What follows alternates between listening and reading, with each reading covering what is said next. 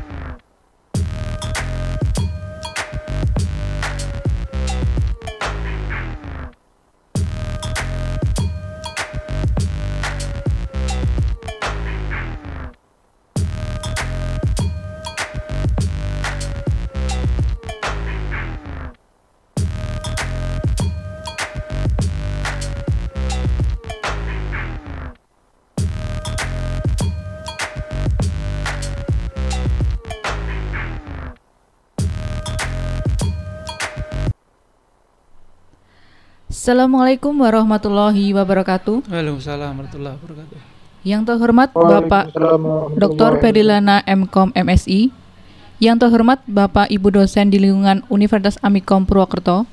Yang terhormat penyaji materi Bapak Arif Adi Kurniawan MSI dan Bapak Adi Dwi Rianto MKOM dan para peserta webinar pada siang hari ini yang kami sayangi. Alhamdulillah, marilah kita panjatkan puji syukur kehadirat Allah Subhanahu wa taala yang telah melimpahkan nikmat dan karunia-Nya kepada kita semua. Salawat serta salam, marilah kita curahkan kepada Nabi besar Muhammad wasallam sehingga kita dapat mengikuti acara webinar yang diselenggarakan oleh Program Studi Bisnis Digital Universitas Amikom Purwokerto dengan tema Be a Young Digital Marketer. Hadirin yang berbahagia, berikut susunan acara pada siang ini. Yang pertama, pembukaan. Kedua, penyampaian materi pertama oleh Bapak Arif Adi Kurniawan MSI. Ketiga, penyampaian materi kedua oleh Bapak Adi Dwirianto MKOM. Keempat, sesi tanya jawab.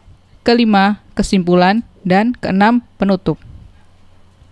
Sebelum penyampaian materi, saya sampaikan tata tertib dalam mengikuti acara webinar pada siang ini. Yang pertama, peserta tidak diperkenankan menyebarluaskan tautan Zoom meeting. Kedua, peserta tidak menggunakan ID atau nama akun Zoom yang sama dengan nama yang didaftarkan. Yang ketiga, peserta harus sudah bergabung di webinar sebelum 15 menit acara dimulai. Keempat, peserta menonaktifkan suara atau di-mute saat bergabung Zoom meeting. Yang kelima, peserta dipersilakan mengajukan pertanyaan melalui chat room pada Zoom meeting. Yang keenam, peserta tidak diperkenankan menyampaikan pendapat atau informasi lainnya yang mengandung unsur sara atau bersifat politis. Yang ketujuh, link presensi akan dibagikan saat pelaksanakan webinar melalui chat room pada Zoom meeting. Kedelapan, e-sertifikat akan diberikan melalui email maksimal H plus 7 setelah pelaksanaan webinar dengan ketentuan sebagai berikut. Pertama, mengikuti webinar dengan aplikasi Zoom sampai selesai. Kedua, screenshot, screenshot saat acara webinar berlangsung. Ketiga, upload hasil screenshot tersebut di Instagram masing-masing peserta dengan hashtag Bisnis Digital Universitas Amikom Purwokerto dan follow akun Instagram at bisnisdigital underscore amikom Purwokerto serta berikan caption menarik untuk memperoleh beasiswa pendidikan sebesar 2 juta rupiah untuk dua orang calon mahasiswa. Kesembilan, peserta diwajibkan mengisi form evaluasi pelaksanaan webinar melalui link Google Form yang akan dibagikan di saat webinar berlangsung melalui chatroom Zoom meeting dan dapatkan voucher kuota internet bagi yang beruntung. Untuk acara selanjutnya adalah penyampaian materi pertama yang akan disampaikan oleh Bapak Arif Adi Kurniawan, MSI. Kepada beliau, kami persilahkan. Assalamualaikum warahmatullahi wabarakatuh. Uh, selamat bergabung di acara webinar program studi bisnis digital Universitas Amikom Purwokerto yang pada kesempatan kali ini mengambil uh, tema yang digital marketer. Jadi untuk para pemuda mempersiapkan karakter para pemuda untuk menjadi seorang uh, pebisnis di era digital ini yaitu seorang digital marketer. Ya, di sini saya uh, memulai dulu ya sebagai pendahuluan kalau kita pengen membangun sebuah bangunan ya tadi saya katakan bangunan sosok pemuda yang penuh keyakinan dengan bisnisnya ya, memiliki bisnis atau menjadi seorang digital marketer maka pertama kali yang dipersiapkan adalah tentang eh, fondasi karakter tersebut ya. Nah, fondasi karakter tersebut seperti apa? Ya di sini eh, saya mengambil sudut pandang eh, dari sudut pandang keyakinan. Ya, jadi yakin menjadi seorang digital marketer. Nah, next ya. Eh, di sini ya bahwa kita mengambil tema ya menjadi seorang digital marketer itu berawal dari keyakinan. Kenapa dari keyakinan ini sudut pandang ya, bahwa kita membangun sebuah ilmu atau membangun sebuah karakter dari sebuah ilmu yang berdasarkan keyakinan ya. karena di sini dasarnya adalah kebenaran. Kita mengawali dari bangunan yang kalau kita ingin membuat sebuah bangunan maka pondasi itu harus dalam. Semakin tinggi sebuah bangunan maka pondasinya harus kuat. Nah pondasinya adalah didasarkan atas keyakinan. Nah kita berawal dari sebenarnya tujuan diciptakan manusia itu apa sih? Ya ini sangat mendasar sekali ini nah, dari Quran surat Ad-Dariyat ayat 56 itu di di sana ya artinya saja ya dan tidaklah aku ciptakan jin dan manusia kecuali untuk beribadah kepadaku. Jadi di sini kata kuncinya adalah beribadah. Yang kata kuncinya adalah beribadah. Nah, output dari beribadah itu adalah Allah menjanjikan pahala. Artinya semua kegiatan uh, umat muslim yang di dalamnya tidak mengandur, tidak mengandung unsur maksiat semuanya adalah ibadah. Nah, next. Nah, kita akan menggarisbawahi dulu. Jadi unsur pokok ibadah dari uh, kaum muslimin itu adalah sholat. Uh, ibadah wajib dulu ini. Jadi sholat itu adalah tiangnya agama. Jadi inti dari ibadah, pokok dari ibadah itu adalah sholat. Sehingga eh, hidup kita itu sebenarnya dari waktu ke waktu itu adalah untuk menunggu waktu sholat. Nah, menunggu waktu sholat itu melakukan apa saja, melakukan apa saja. Jadi kita itu setiap manusia itu memiliki uh, potensi, next ya, memiliki potensi. Nah, potensi itu seperti apa? Jadi setiap kita itu ya, sambil menunggu waktu sholat tersebut, kita itu me menggunakan potensi dari kita. Menggunakan sumber daya yang kita miliki. Untuk apa? Yaitu untuk menjadikan diri kita itu bermanfaat bagi orang lain. Ya jadi eh, pada umumnya ya eh, para siswa lulusan SMA SMK itu masih mencari jati dirinya sebenarnya saya tuh mau ber, berbisnis dalam bidang apa masih bingung. Sebenarnya potensi saya itu apa? Masih bingung. Oleh karena itu di sini e, bersama program studi bisnis digital ini nanti akan mencoba ya, mencoba untuk membekali para siswa atau mahasiswa itu untuk mencoba mengenal dirinya, menjadikan dirinya itu lebih bermanfaat. Sehingga dengan potensi yang dimilikinya, dia itu bisa bermanfaat bagi orang lain. Kenapa? Karena di sini sebaik-baik manusia adalah yang paling bermanfaat bagi orang lain. Jadi bisnis itu sebenarnya adalah apa? Yaitu sebenarnya adalah uh, menampilkan dirinya dengan berbagai potensinya, dengan berbagai potensi yang dimilikinya sehingga potensi itu bisa bermanfaat bagi orang lain. Ya, next. Nah,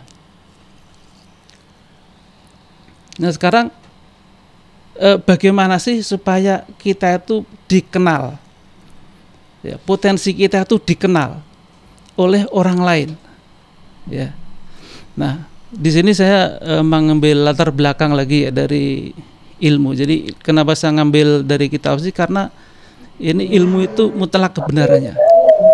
Nah, dari Quran surat Al-Hujurat ayat 13 di sini, "Hai orang-orang yang beriman, sesungguhnya kami Allah telah menciptakan kamu dari seorang laki-laki dan seorang perempuan dan menjadikan kamu berbangsa-bangsa dan bersuku-suku agar kalian saling mengenal. Ya di sini. Nah, nanti dari sini akan masuk ke dunia marketing. Ada berbagai bangsa, ada berbagai suku bangsa di muka bumi ini, ya.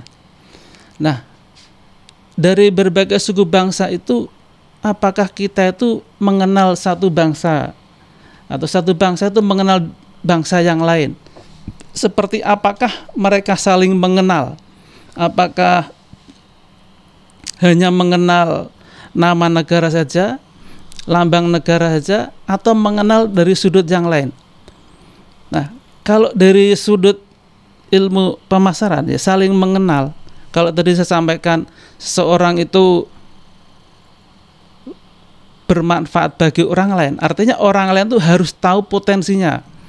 Orang lain tuh harus tahu sumber dayanya atau orang lain tuh harus tahu potensi kita. Orang lain tuh harus tahu sumber daya kita sehingga orang lain tuh bisa merasakan kemanfaatan diri kita. Ya, misalnya saja ya.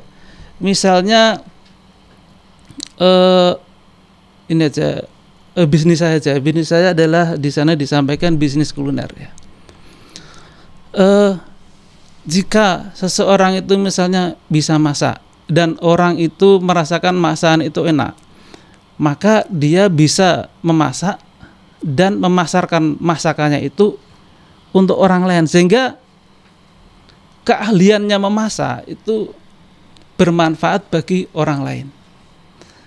Nah, dari mana orang lain tahu bahwa dia adalah uh, ahli masak ya? yaitu dengan cara mengenalkan diri.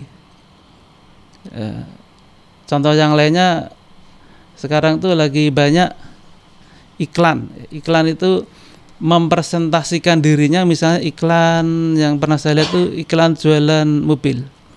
Biasanya iklan jualan mobil itu dilengkapi dengan foto salesnya, marketing eksekutifnya. Tujuannya apa? Supaya orang itu tahu oh ternyata si A punya produk mobil, uh, dia punya jualan produk mobil.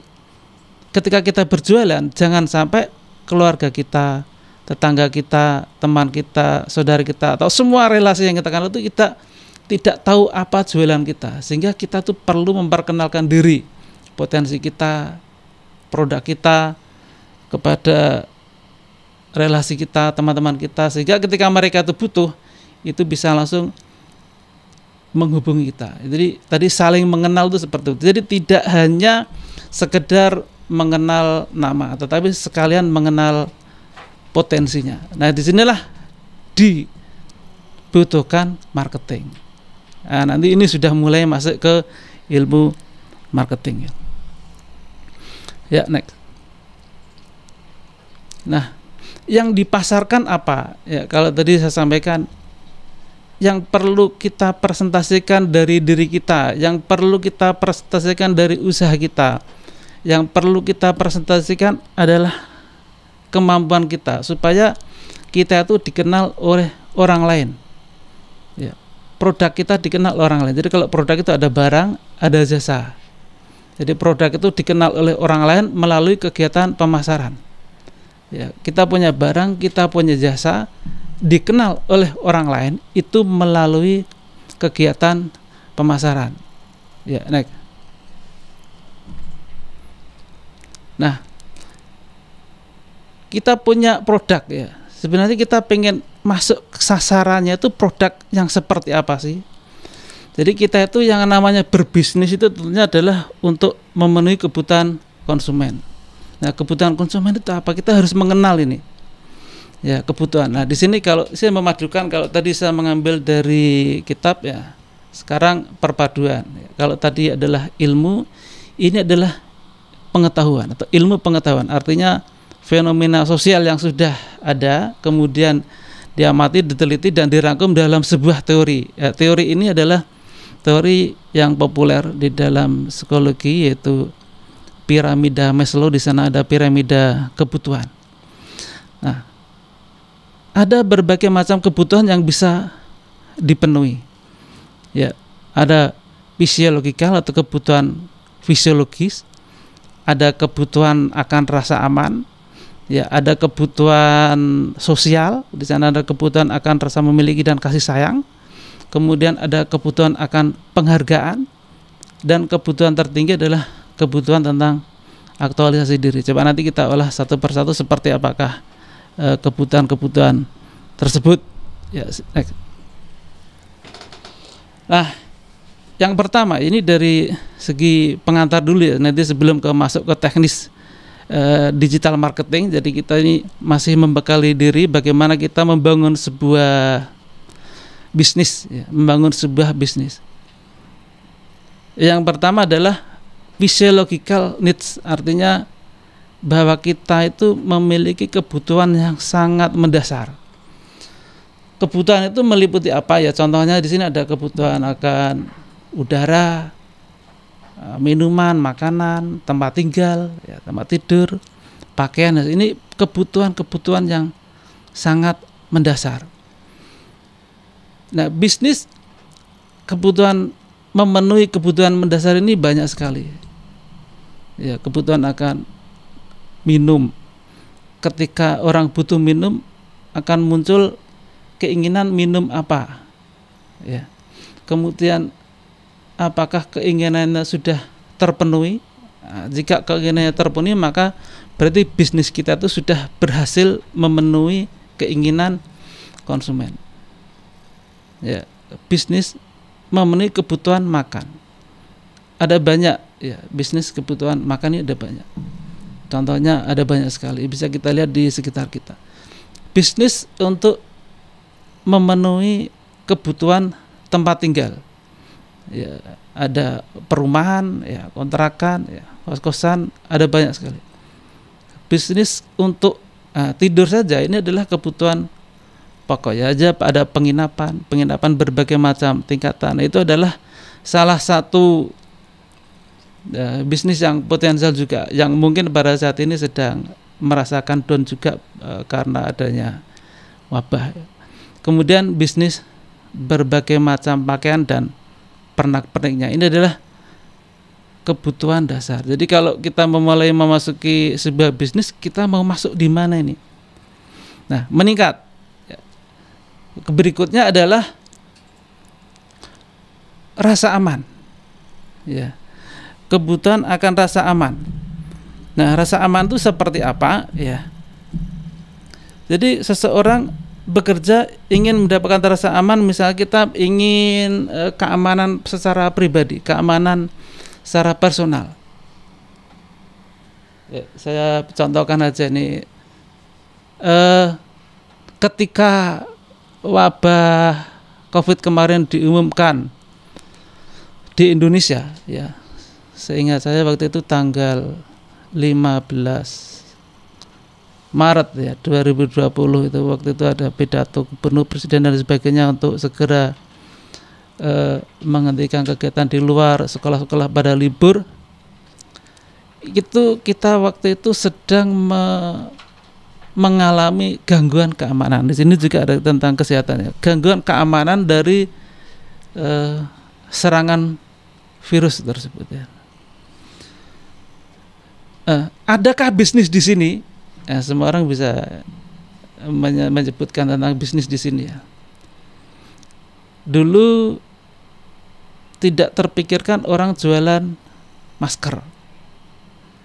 Ya tidak terpikirkan orang jualan masker. Artinya ini bisnis yang bisa dilakukan oleh banyak orang. Ketika ada gangguan keamanan pada saat seperti ini ternyata akhirnya banyak orang bisnis masker. Banyak orang jualan masker di pinggir-pinggir jalan ya, meskipun banyak juga yang melakukan bakti sosial dengan membagikan masker tapi masker tersebut dibagi dibeli terlebih dahulu untuk dibagikan kepada masyarakat umum Nah ini adalah bisnis yang berkaitan dengan keamanan. Ya, ada penyedia, misalnya ada bangunan di bangunan itu ada pemadam itu juga tentang bisnis tentang keamanan. Ada penyedia jasa pengawalan, ya, bisnis keamanan. Kemudian ada lembaga pelatihan apa itu e, di satpam untuk keamanan, ya, itu adalah bisnis juga. Kemudian di sini ada employment, employment itu e, gini ingin bekerja pada suatu organisasi yang aman misalnya apa sebagian besar masyarakat kita merasa eh, saya ingin menjadi pegawai negeri lah kenapa eh, aman nyaman. Eh, ada pensiun dan sebagainya. Itu setelah menjadi pegawai negeri itu rasanya menjadi aman. Nah, itu contoh saja. Ya berikutnya. Nah berikutnya adalah eh, tentang next. Nah, kebutuhan yang ketiga adalah tentang love and belonging artinya kebutuhan sosial tadi ya. Di sini ada friendship ya, pertemanan, ya, keintiman, kekeluargaan. Ya, di sini ini sini ya.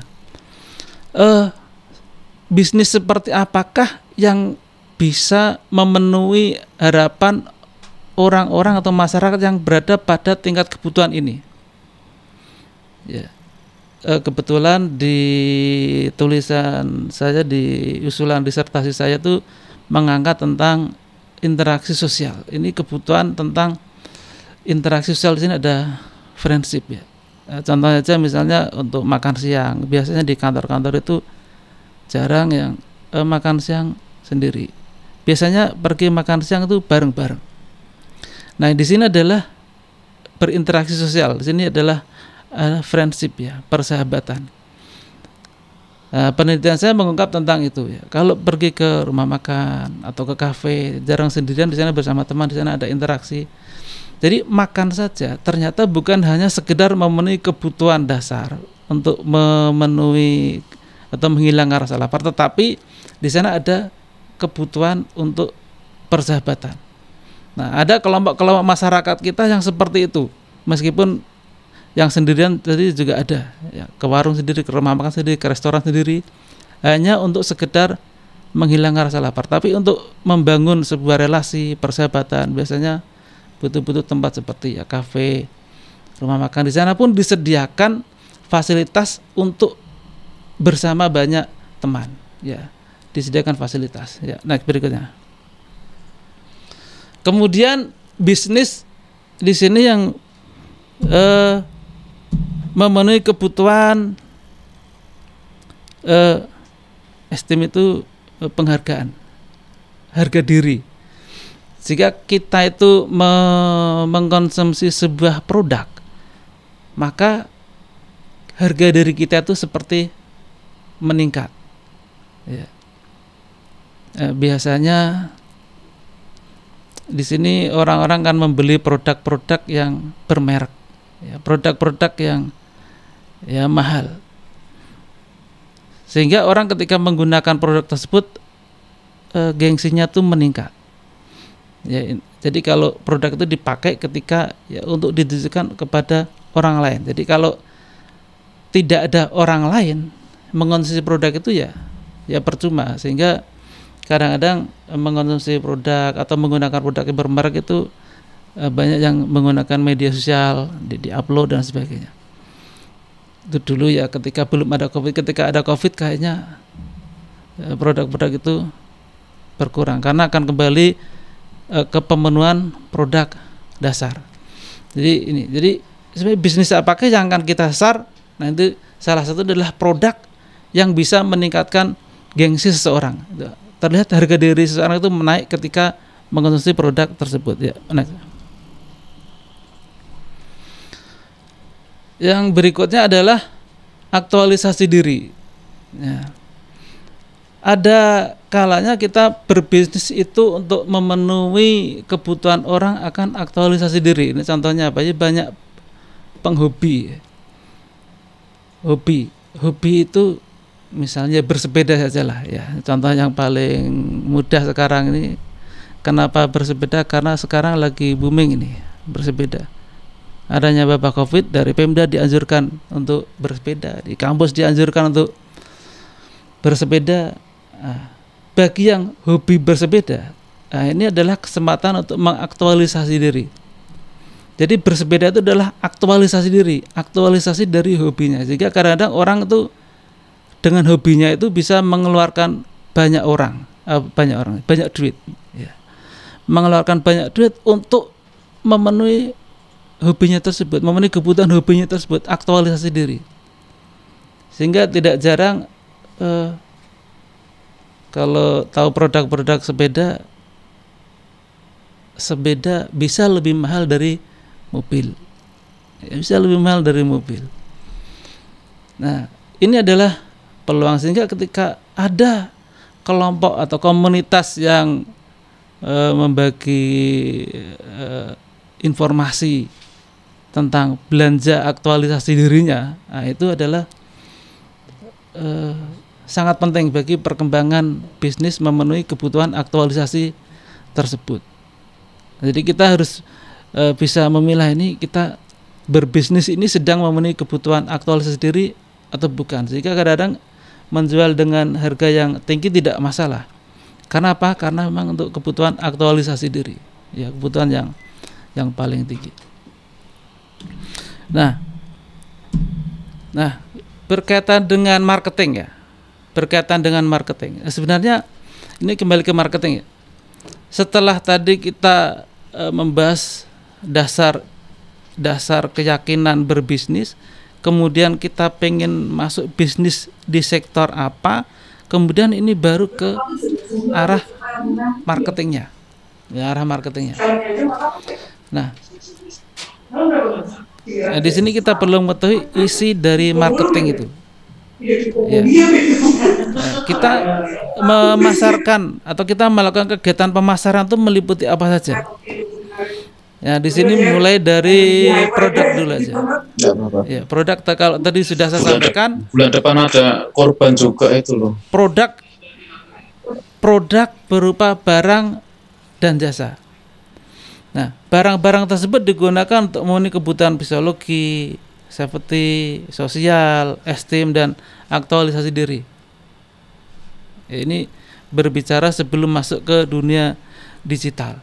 Nah, setelah masuk ke dunia digital, sebenarnya produk eh, produk-produk itu berupa produk apa sih ya? Produknya berupa produk-produk bisa barang dan jasa. Bisa produk itu produk digital itu sendiri. Apa ya sekarang ada jual orang jualan file, ya, orang jualan program. Nah, itu adalah salah satu contoh produk digital. Nah, kemudian kita merancang pemasaran setelah kita itu merancang sebuah produk, kita merancang harganya ya, kita pengen masuk segmen apakah ini kebutuhan mendasar, kebutuhan rasa aman, ya kemudian ada ada kebutuhan sosial need, ada esteem dan sebagainya. Tingkatan-tingkatan tersebut tentunya perlu diciptakan strategi harga yang berbeda. Kalau hanya untuk memenuhi rasa eh, lapar menjadi kenyang, mungkin kita membuat strategi yang harganya murah. Tapi begitu seorang konsumen ingin mendapatkan makan rasa aman, ya, bersih, sehat, higienis, nah itu harganya agak naik lagi. Ya, strategi harga ini. Jika naik lagi misalnya di sana dibuat sebuah rumah makan yang ditujukan untuk berinteraksi sosial yang di sana dikonsumsi secara bersama-sama, di sana ada fasilitas yang harus dibayar dan sebagainya, harganya naik lagi. Ya.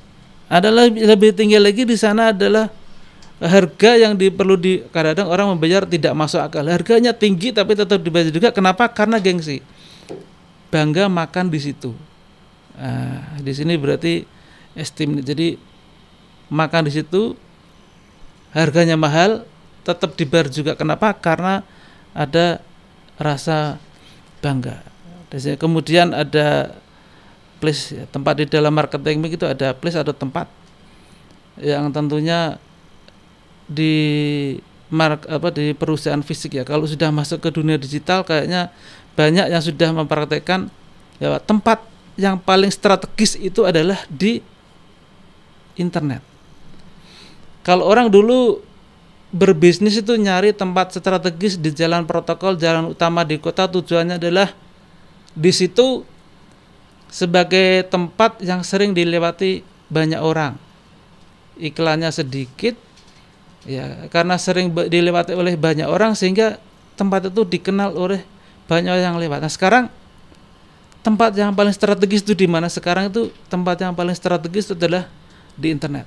Kalau orang punya toko itu membeli tempat, tetapi kalau di internet tidak semahal ketika orang itu membeli sebuah toko ya nah ini ini sudah mulai masuk ini di di dalam internet ya kemudian promosi nah di sini goal kita pada hari ini adalah digital marketer di sini uh, memasuki dunia digital banyak sekali dimanfaatkan untuk kegiatan-kegiatan promosi.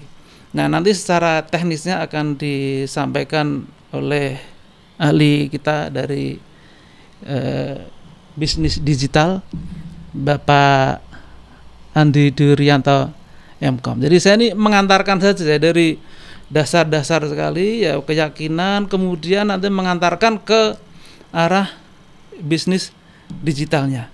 Ya nanti gongnya itu nanti adalah promosi melalui digital atau menjadi seorang digital marketer yang bisa didapatkan di program studi bisnis digital Universitas Amikom Purwokerto. Nah, kemudian di sini ada market timing ada 7 P. P berikutnya adalah physical evidence. Jadi kalau di dalam bisnis itu ada fasilitas-fasilitas yang uh, secara fisik ya. Kalau misalnya hotel ada fasilitasnya, rumah makan ada fasilitasnya, pom bensin ada fasilitasnya.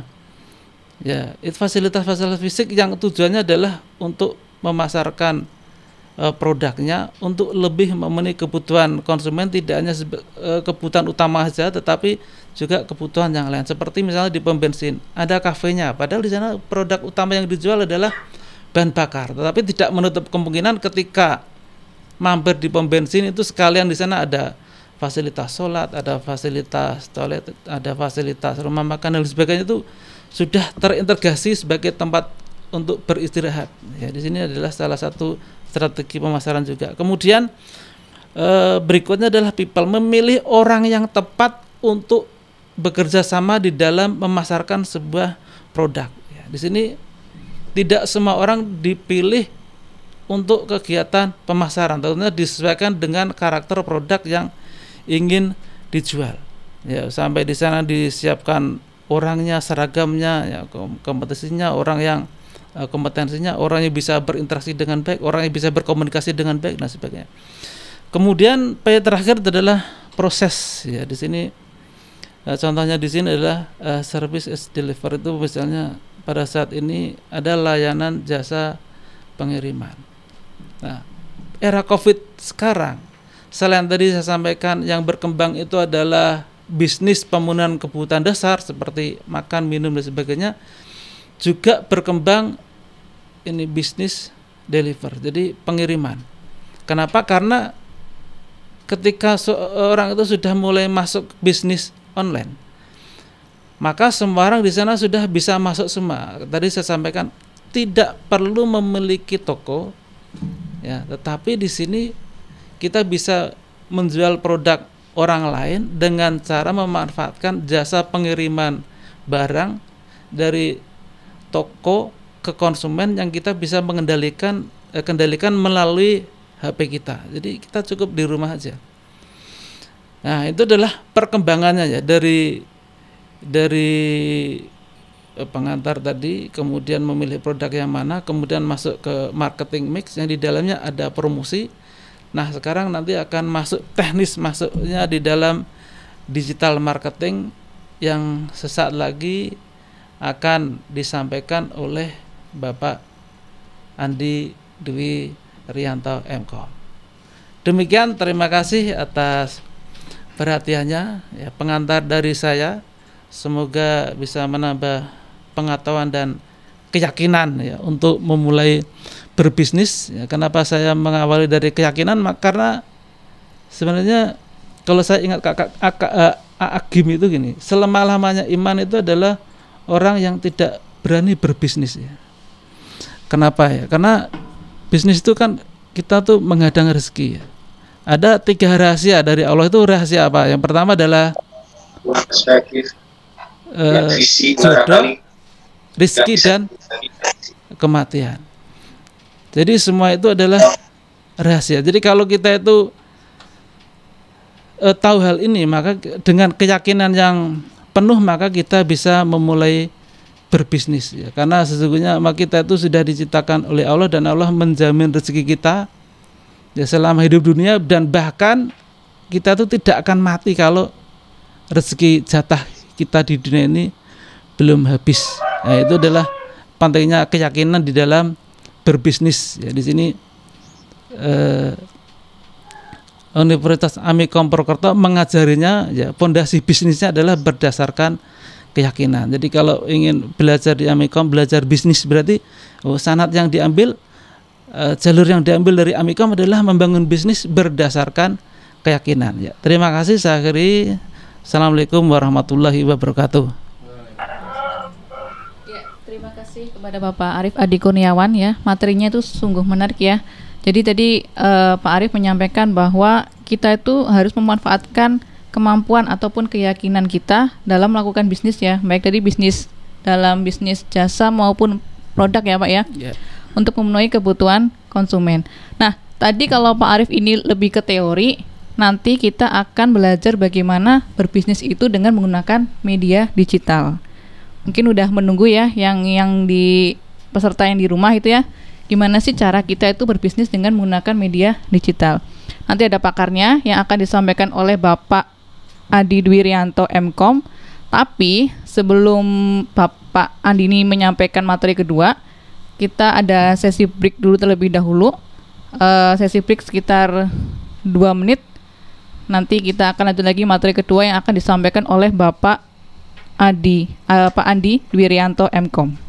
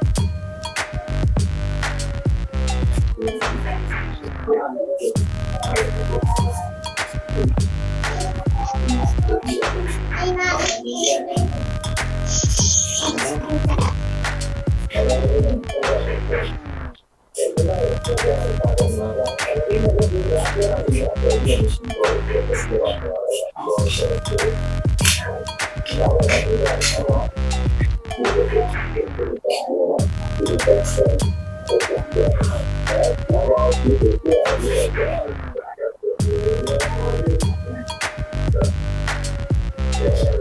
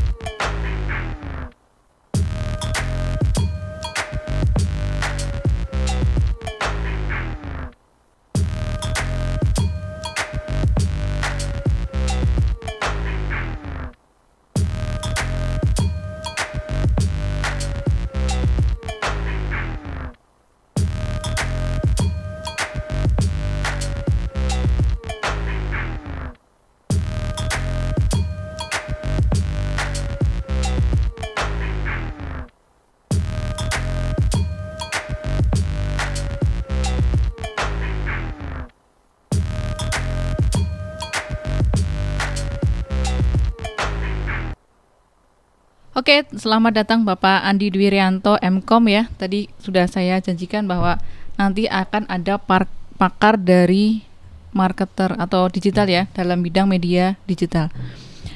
Uh, selanjutnya kepada Bapak Andi Dwirianto Mkom untuk materi kami persilahkan uh, nanti tanya jawab akan diadakan setelah sesi kedua selesai ya. Silakan Apabila ada pertanyaan, silahkan ditanyakan di forum chat via Zoom.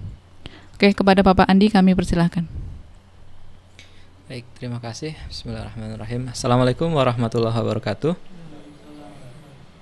Um, ya, alhamdulillah uh, siang hari ini kita bisa berjumpa di acara yang insya Allah uh, bermanfaat ya, walaupun uh, dalam masa seperti ini dalam waktu yang mungkin relatif singkat.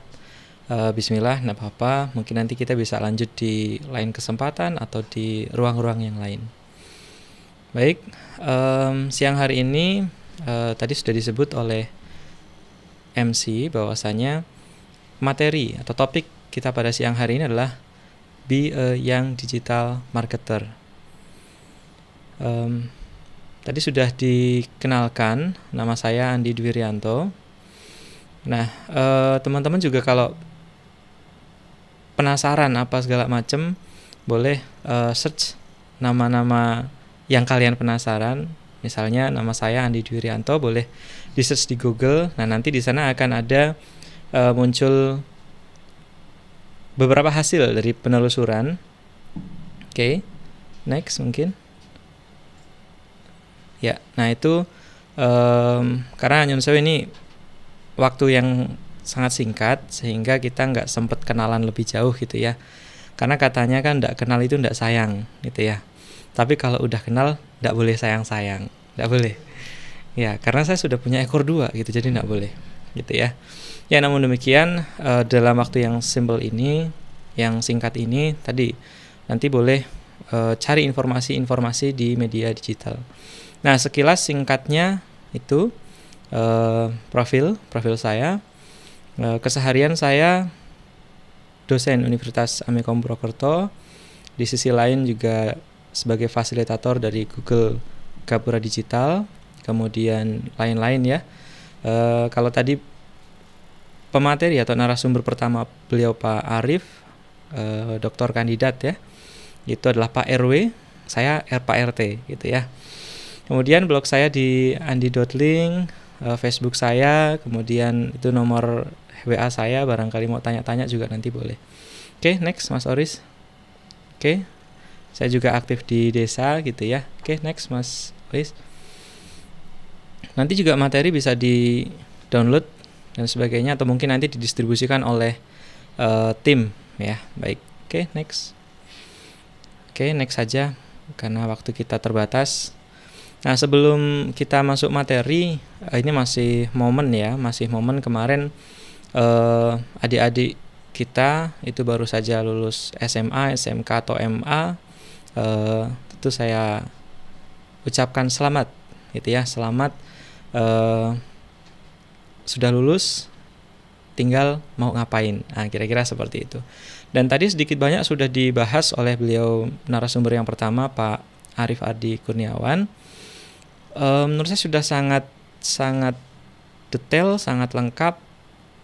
Uh, mulai dari keyakinan tadi ya, saya juga mendapat uh, insight-insight yang baru, uh, piramid uh, apa tadi itu. Nah di sana ada kebutuhan apa segala macam, itu jadi insight-insight kita. Nanti mungkin kita kita bahas juga gitu ya.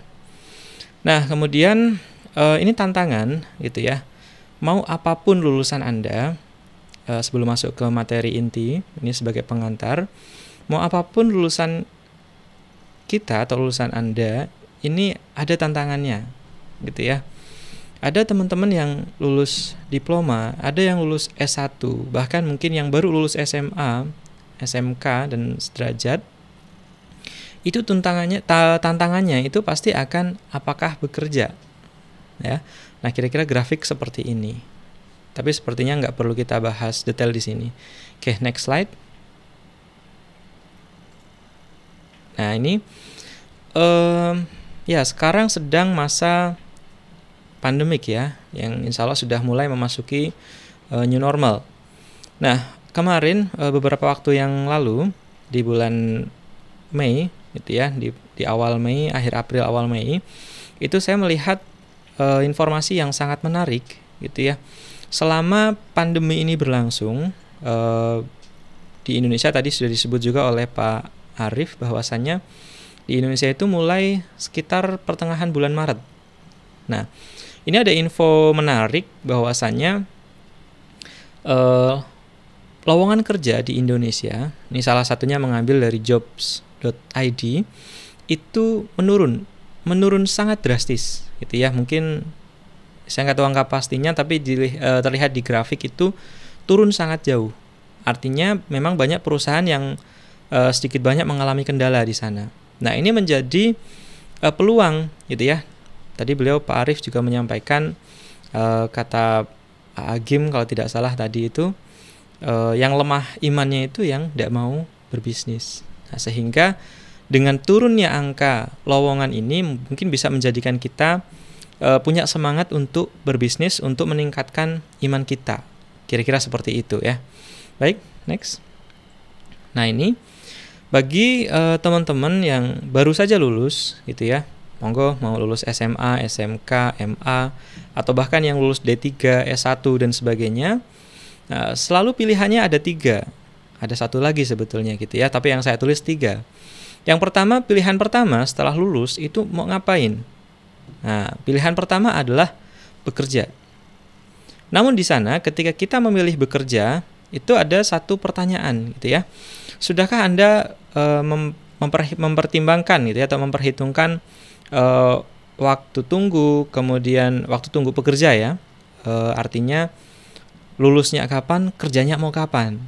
Gitu. Kemudian apakah kualifikasi Anda memenuhi dari uh, kualifikasi pekerjaan yang dibutuhkan dan sebagainya. Nah, itu juga penting. Kemudian pilihan yang kedua adalah umumnya kuliah setelah um, kalau SMA SMK kuliah D3 mungkin lanjut S1, S1 mungkin lanjut S2 dan seterusnya, gitu ya. Nah, ini juga ada beberapa hal yang harus disiapkan, monggo di apa namanya dipilah-pilah. Dan yang ketiga adalah pilihan untuk berwirausaha. Tadi ini kesempatan ya, ini kesempatan. Nah, hanya saja ketika kita memilih untuk berwirausaha, maka di sana ada pertanyaan juga, sudahkah cukup pengetahuan, relasi, dan juga uh, umumnya modal. Nah, dengan digital nanti ada uh, modal itu bisa ya sedikit banyak dipangkas, gitu ya, bisa dipangkas. Kira-kira seperti itu. Nah, kalau ada satu pilihan lagi, biasanya kalau perempuan itu menikah, gitu ya. Tapi perempuan, laki-laki boleh, boleh saja, gitu ya. Tapi harus ingat menafkahi keluarga dan sebagainya. Oke, uh, ini pilihan-pilihan yang ada di depan kita. Monggo nanti disesuaikan dengan pilihan masing-masing. Silahkan. Namun tema kita hari ini tentu berbisnis. Nah, tadi juga tadi Pak Arief sudah uh, ada dasar-dasarnya. Nah, ini juga ada uh, kalau tidak salah itu 9 dari 10 pintu rezeki itu adalah dengan cara berbisnis ya atau berdagang atau berniaga, kira-kira seperti itu. Ini Pak Arief yang lebih tepat menyampaikan. Oke, okay, next slide. Jadi pertama bisnis. Kemudian yang kedua, mengapa harus berniaga, berdagang atau berbisnis? Ya, yang muncul di layar itu adalah 10 orang terkaya di Indonesia itu pastilah semuanya adalah orang pebisnis. Itu sehingga e, kaya itu boleh jadi tujuan, tapi harus punya tujuan yang lebih, bukan hanya materi. Kira-kira seperti itu. Baik, next slide. Nah, itu singkatnya mengapa harus bisnis kira-kira gitu. Nah, ketika berbisnis tadi uh, di era yang seperti ini, era serba digital, ya kita harus mengambil langkah digital tentunya.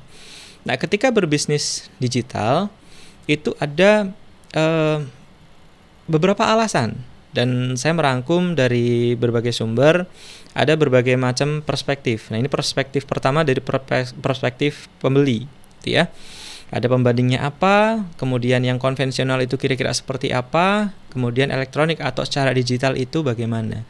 Mulai dari harga, kalau konvensional relatif tinggi, kalau elektronik Anda bisa cek sendiri. Cari barang melalui digital ya nggak semua ya, tapi beberapa relatif lebih murah. Biaya, kemudian untuk mencari ya ada tenaga, waktu dan sebagainya juga bisa dibandingkan. Resiko yang dulunya elektronik itu katanya tinggi, sekarang muncul fitur-fitur COD dan sebagainya, sehingga itu memper apa namanya memperendah resiko itu. Oke, okay, next. Nah ini dari perspektif penjual, jadi banyak gitu ya. Dari perspektif penjual, media promosinya elektronik relatif bisa ditekan, gitu ya, relatif ya. Kemudian ada biaya operasional juga demikian, penyimpanan barang, distribusi juga kira-kira seperti itu. Bahkan distribusi kalau kalau konvensionalnya digital itu kan ongkir dibebankan kepada pelanggan ya. Bahkan sekarang tidak jarang ada beberapa ya boleh dibilang marketplace yang memberi fitur atau fasilitas gratis ongkir. Oke. Next slide. Nah, kemudian saya rangkum juga ada beberapa perspektif lainnya, tapi mungkin next saja ya, monggo, biar kita lebih efektif. Nah, ini yang eh, dasar, dasar dari kenapa kok harus digital itu karena kita harus melihat peluang yang ada, gitu ya. Eh, perspektif peluang ini saya mengambil eh, sumber dari Hotsuite, ya, monggo dilanjut. Nah, ini eh, prospek digital Indonesia tahun 2020. Next. Nah ini uh, berangkat dari dunia ya, dunia, dunia. Uh, jumlah populasi di, dun di dunia itu ada 7 uh, 7.7 berapa itu? Angel ya. Yes, pokoknya itulah ya. Pokoknya itu 7,75 miliar ya orang. Kira-kira seperti itu. Ini di dunia dan seterusnya dan seterusnya. Next. Nah, ini di Indonesia, saya berangkat tahun 2019 dulu, gitu ya. Januari 2019 di Indonesia populasinya adalah atau jumlah penduduk Indonesia adalah sekitar 268 juta jiwa. Kira-kira itu. Kemudian next di Januari 2020, nah ini bisa dilihat yang tadinya kalau tidak salah tadi 268 sekarang jadi 272. Kira-kira meningkat 4 juta jiwa. Gitu ya, kira-kira 4 juta jiwa uh, jumlah populasi terus naik gitu. Kemudian di sebelahnya ada uh, mobile phone connection ya. Ini saya sering bukan sering ya, selalu terheran-heran jumlah orang di Indonesia itu 272 juta jiwa. Tetapi jumlah handphone yang terkoneksi lebih gitu ya, melebihi dari jumlah orang. Padahal kayaknya balita. Balita mungkin udah oke okay ya batita juga mungkin sudah mulai itu tapi anak di bawah satu tahun kan belum belum ya kayaknya ya. Atau sudah mulai juga menggunakan handphone? Belum ya. Nah itu intinya adalah melebihi dari jumlah orang. Artinya satu orang mungkin melebihi dari uh, punya lebih dari satu handphone katakanlah seperti itu. Kemudian yang menarik lainnya adalah 175 juta orang di Indonesia gitu ya menggunakan internet atau pengguna internet. Dan 160 jutanya itu itu aktif di media sosial. Nah, ini angka-angka ini penting uh, bagi kita yang uh, belum memasuki dunia digital. Ma sudah masuk dunia digital pun juga kita nanti akan kita breakdown terus, gitu ya. Sebagai salah satunya bisa di breakdown lagi, Mas Ois. Nah, ini daily time spent with media. Rata-rata orang Indonesia itu di depan internet katakanlah itu bisa dilihat hampir 8 jam. 8 jam kurang satu menit rata-rata. Padahal waktu kita itu kan 24 jam ya. 24 jam dibagi 3. Jadi sepertiga dari waktu kita itu menggunakan internet. Itu. Wow sekali ya. Di media sosial tiga setengah jam dan seterusnya dan seterusnya. Oke, okay, next. Nah, ini juga uh, saya berangkat dari tahun 2019 dulu, bahwasanya di tahun 2019 itu platform media sosial yang paling banyak digunakan di Indonesia itu adalah YouTube. Sebanyak 88%, yang kedua WhatsApp. Itu kalau merah kalau di sini dibedakan Messenger. Itu 80 berapa itu? 3%, kemudian Facebook 81%, nah dan seterusnya Instagram 80%, Uh, next Mas Ois. Nah, di 2020 YouTube masih tetap sekitar 88%. Prosentasenya tetap tapi pasti nambah jumlah orangnya. Kenapa? Karena tadi jumlah orangnya nambah, yang menggunakan internet selalu nambah. Itu secara persentase tetap. Dan yang kedua masih WhatsApp, masih konsisten di tahun 2020. Kemudian Facebook juga masih konsisten di sana. Kemudian Instagram secara persentase turun, secara persentase turun satu persen, tapi secara jumlah pasti tetap naik, gitu ya karena e, dan e, mohon maaf ini yang saya bahas empat teratas dulu ya, itu kenapa? Ya karena mayoritas orang Indonesia itu ya seperti itu. Kenapa? Nomor 5, Twitter. Tertinggal sangat jauh. Kenapa? Karena Twitter itu hanya tulisan Nah ini yang mungkin banyak orang di luar sana yang sering bilang bahwasanya Indonesia itu krisis literasi, kurang suka membaca. Ya salah satu buktinya atau faktanya adalah Twitter jauh tertinggal dibanding Instagram. Orang lebih suka berselfie, gitu ya, lebih suka ya seperti itu foto-foto di Facebook uh, lebih lebih apa fleksibel bisa semuanya gitu ya. WhatsApp uh, keseharian untuk interaksi dan YouTube. Ya orang Indonesia sukanya lihat gitu. Sehingga ini yang akan selalu menjadi tren.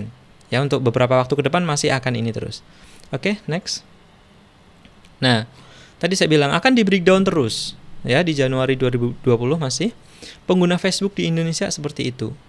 Jum, uh, jenis kelamin juga bisa di breakdown lagi datanya laki-laki 44%, e, perempuan 55%. Jadi lebih banyak perempuan. Oke, okay, next. Nah, Instagram 63 juta penggunanya. Jadi masih di bawah di bawah Facebook. Prosentasenya lebih banyak e, yang plus itu laki-laki, betul ya? Iya. Ya, male ya. Oh, maaf, female kebalik saya. Uh, yang yang 50% itu yang female, yang perempuan ya. Jadi kalau Instagram lebih banyak perempuan, kalau Facebook lebih banyak laki-laki. Singkatnya gitu. Nanti ke depan bisa kita breakdown terus, gitu ya. E, ada literasi atau sumber-sumber yang lain yang nanti bisa kita gunakan. Oke, okay? next. Nah, cuman ini agak-agak lampau ya, karena kalau abji itu memang tidak setiap tahun dan agak agak pelan gitu ya. Ini saya belum cek lagi data terbarunya, tapi kira-kira sebarannya akan seperti ini uh, lebih dari 50% orang di Indonesia itu yang menggunakan internet itu adalah di Pulau Jawa. Kemudian terbanyak kedua sementara di Sumatera, terbanyak ketiga ini digabung antara Sulawesi dan Papua. Yang keempat adalah Kalimantan dan kalau ke depan ini bisa jadi ibu kota negara mungkin akan naik drastis mungkin ya, kita belum tahu. Kemudian yang terakhir itu adalah Bali Nusa gitu ya. Ini karena kenapa angkanya seperti itu ya karena jumlah penduduknya itu kan ya tidak bisa dipungkiri Jawa paling banyak. Kemudian dari infrastrukturnya itu ya juga bisa dibilang mungkin Jawa lebih untuk sementara lebih baik gitu ya. Tapi akan disusul oleh yang lain-lain kalau memang e, tingkat persebaran penduduknya mulai nyebar, kemudian infrastrukturnya juga semakin merata, ini mungkin akan mulai merata. Oke, okay, next.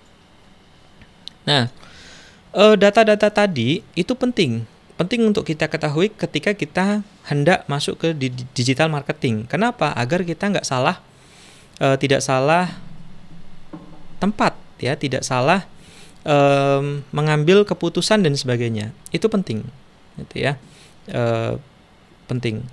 Nah, ketika kita sudah tahu potensi-potensi itu, maka uh, ada baiknya dan menurut saya ini juga sangat penting juga untuk kita ketahui bahwasanya ketika kita berbisnis kemudian mau tidak mau itu ya e, mungkin ujung tombak dari bisnis itu adalah marketing gitu. Karena tujuan dari bisnis pastilah profit keuntungan. Kan seperti itu. Nah ketika perusahaan hendak e, mengambil keuntungan gitu ya itu pasti harus terjadi penjualan. Agar terjadi penjualan maka di sana harus ada promosi kan seperti itu monggo promosinya mau digital mau konvensional silakan dikombinasi hanya saja secara garis besar ketika e, masuk ke dunia digital itu paling tidak di- bisa diklasifikasikan menjadi enam seperti ini. Monggo nanti ada yang empat, ada yang lain-lain monggo. Tapi secara garis besar atau secara umum bisa kita lihat seperti ini. Dilihat dari nomor 1 sampai nomor 6, nomor satu itu bisa dibilang adalah paling mudah oleh kita yang baru belajar berbisnis, ya. Artinya chat application. Sekarang yang paling populer adalah WhatsApp. Siapa yang nggak kenal WhatsApp? Tadi dari data 80 sekian persen, gitu kan? Itu menggunakan WhatsApp. Bisa dibilang paling mudah. Kemudian yang kedua, sosial media mulai dari Facebook. Kemudian Twitter, walaupun tadi ratingnya agak turun, Instagram, YouTube. Nah, itu bisa dibilang dikategorikan mudah bagi kita untuk yang baru belajar. Yang ketiga, ada yang namanya local listing. Itu fitur da- eh, salah satunya Google ya, Google My Business, Google Businessku. Itu juga ke depan ini akan menjadi bisnis yang apa namanya? atau media yang sangat powerful. Sekarang pun sudah sangat powerful. Kemudian yang keempat ada e-commerce. E-commerce dalam hal ini yang dimaksud adalah eh, marketplace. Eh, sudah sering dengar ya. Dan insya Allah besok juga kita di Banyumas ada marketplace baru. Mungkin bisa kerjasama juga dengan Amikom dan Prodi Bisnis Digital, gitu ya. Kemudian yang kelima adalah website. Nah, website itu tidak semua orang bisa. Walaupun kalau dipelajari pasti bisa. Tapi ini bisa dibilang tingkatannya semakin sulit. Dan yang terakhir mobile apps bisa dibilang kategori yang paling sulit membuat aplikasi mobile di Play Store di apa namanya iOS gitu ya. Hmm, Di App Store itu paling sulit tingkatannya. Tetapi bagi pengguna itu dibalik. Nomor 6 itu bisa dibilang yang paling mudah oleh oleh oleh customer ya. Mulai dari eh, mobile apps, kemudian user itu ter- eh, terbiasa menggunakan search engine untuk mencari informasi, kemudian membeli melalui marketplace, kemudian menemukan, kemudian media sosial, dan kemudian yang terakhir bisa menggunakan chat application. Jadi terbalik antara sudut pandang pe, apa pebisnis atau penjual katakanlah dengan sudut pandang pelanggan. Jadi tingkat ke penggunaannya kira-kira seperti itu. Oke, next. Nah, eh, bagi em, audiens di sini, saya yakin pasti ada yang sudah punya bisnis. Saya yakin pasti ada. Tapi bagi yang belum, eh, tadi Pak Arief sudah sudah apa namanya sudah menyampaikan beberapa informasi eh, kiat-kiat untuk menemukan ide bisnis ya, mulai dari kebutuhan fisik gitu ya sampai dengan eh, aktualisasi. Nanti kita cek satu-satu, gitu ya. Eh, satu saja mungkin nggak satu-satu ya nggak cukup. Nah, tapi bagi yang belum punya bisnis, eh, mungkin saya ada ada sedikit tips ya. Kalau dari saya ada tiga poin yang bisa disiapkan. Mulai dari yang pertama itu adalah berangkatlah dari apa yang anda sukai, gitu. Dari apa yang anda sukai. Kenapa dari apa yang anda sukai? SMA, SMK kemarin. Di sana mungkin ada mata pelajaran eh, matematika, bahasa Inggris, gitu ya. Umumnya, saya bilang umumnya, kalau orang suka sesuatu itu akan lebih mudah belajar. Umumnya. Tapi kalau udah lihat gurunya misalnya atau mohon maaf gitu ya, atau misalnya lihat bukunya saja sudah pusing, gimana mau bisa? Biasanya seperti itu biasanya. Sehingga silahkan berangkat eh, create your own ideas, ideas eh, business ideas gitu ya. Itu mulai dari apa yang disukai gitu. Kalau bisa. Oke. Kemudian yang berikutnya adalah dari apa yang ada. Yang dimaksud apa yang ada di sini tidak harus available secara fisik, gitu ya. Tetapi adalah eh, kita bisa memastikan ketersediaan. Misalnya kita punya temen eh, di Jakarta, di Surabaya misalnya, di sana ada produk apalah misalnya. Atau tadi taruhlah sepeda misalnya. Nah, yang penting kita bisa memastikan ketersediaan produk itu. Hmm, Karena apa? Ketika ada customer tanya, kita bisa eh, fast respon dan seterusnya. Dan yang terakhir, saya menyarankan adalah yang siap.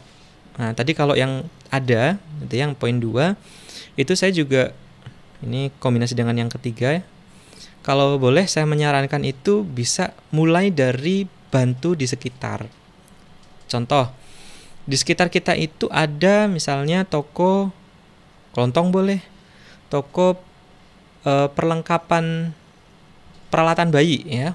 Ini saya kadang kalau mau bicara itu takut salah toko bayi itu kan salah gitu ya. Di toko peralatan perlengkapan bayi ribet bener gitu ya. Kira-kira itu. Nah, di sana pasti ada beberapa produk. Nah, ketika di sana ada beberapa produk, nah usahakan poinnya di sini yang siap. Yang maksudnya siap itu apa? Oke. Tadi di beberapa slide sebelumnya kita melihat eh, orang-orang Indonesia itu lebih suka YouTube, suka Facebook, suka Instagram. Nah, di sana eh, intinya mayoritas orang Indonesia itu lebih suka lihat video, lihat gambar. Dan ketika kita promosi produk kan nggak bisa hanya video, nggak bisa hanya gambar, harus ada tulisan. Sehingga usahakan yang siap. Kenapa? Agar kita nggak capek atau nggak repot-repot ngefoto produk satu-satu. Bolehlah, boleh misalnya di toko tersebut nggak ada fotonya. Oke, Eh, kita cari gambar di internet. Kalau kita bicara etikanya adalah kita cantumkan sumber gambar tersebut. Yang penting sum, eh, gambar tersebut yang kita promokan itu eh, real, eh, maksudnya sama dengan produk yang kita promokan, gitu ya. Jadi tidak tidak berbeda, sama persis mereknya, tipenya, jenisnya, kira-kira seperti itu. Oke, eh, next, Mas Wais. Nah, kalau itu itu kita sudah siap, nah eh, untuk mulai masuk ke dunia digital, ini ada beberapa alat bantu. Tapi mungkin saya hanya fokus atau concern ke dua awal saja ya karena keterbatasan waktu. Yang nanti ini bisa dieksplor macam-macam. Oke. Namun demikian sebelumnya saya mohon maaf gitu ya. Mungkin nanti ada beberapa contoh yang misalnya e, muncul itu kurang sesuai. Maksud saya kurang sesuai dengan norma atau etika. Saya sebelumnya mohon maaf karena ini sifatnya adalah online. Gitu ya, online. Real time gitu. Boleh mungkin dibantu Mas Ois untuk buka browsernya. Kita apa namanya untuk khususnya ini anu ya eh, yang yang belum punya usaha. Bagi yang sudah punya usaha juga boleh untuk untuk sebagai pengetahuan. Oke. Boleh dibuka browsernya Mas Ois? Browser dulu. Oke. Mungkin buka tab baru. Buka google.com Mas Ais. Oke. Nah, ini em, biasakan ketika mencari informasi itu buka eh, google.com gitu ya. Tadi contohnya misalnya nama saya gitu ya.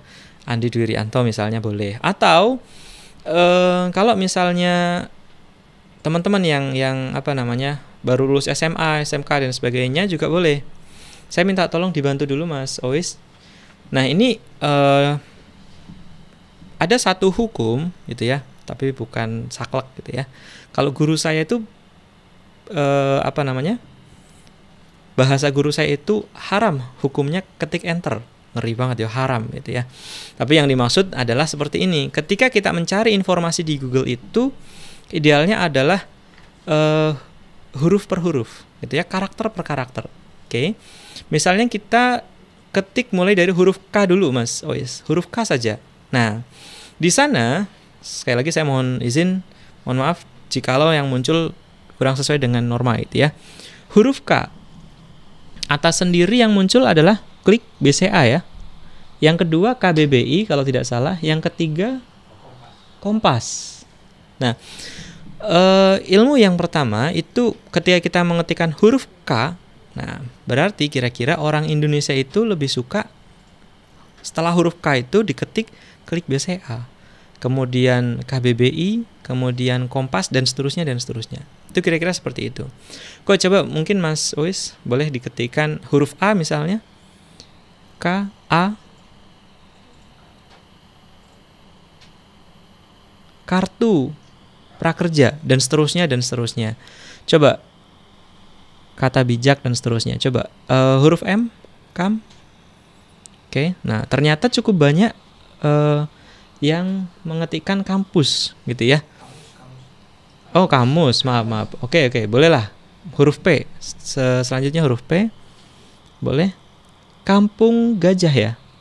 Kampung Laut, Kampung dan seterusnya. Nomor 9 itu apa itu?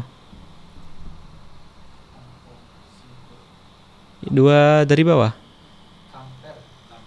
Kamper. Oke. K KAMP. Nah, sekarang U coba. Masih kampung ya. Oke.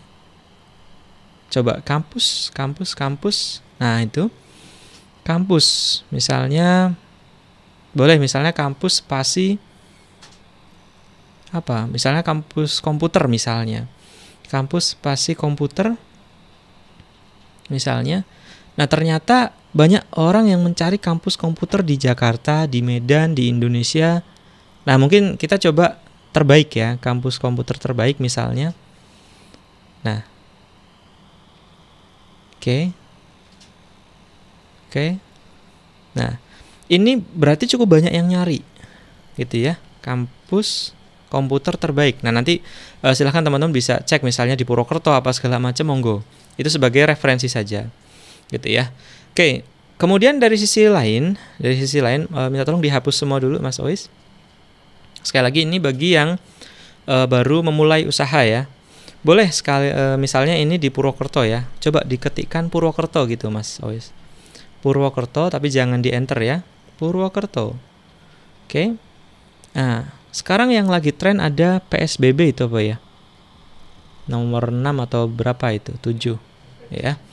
Oke, coba uh, sekarang kursornya dipindah ke depan Mas Ois. Oke. Dispasi Mas Ois. Oke, hasilnya beda atau sama? Beda.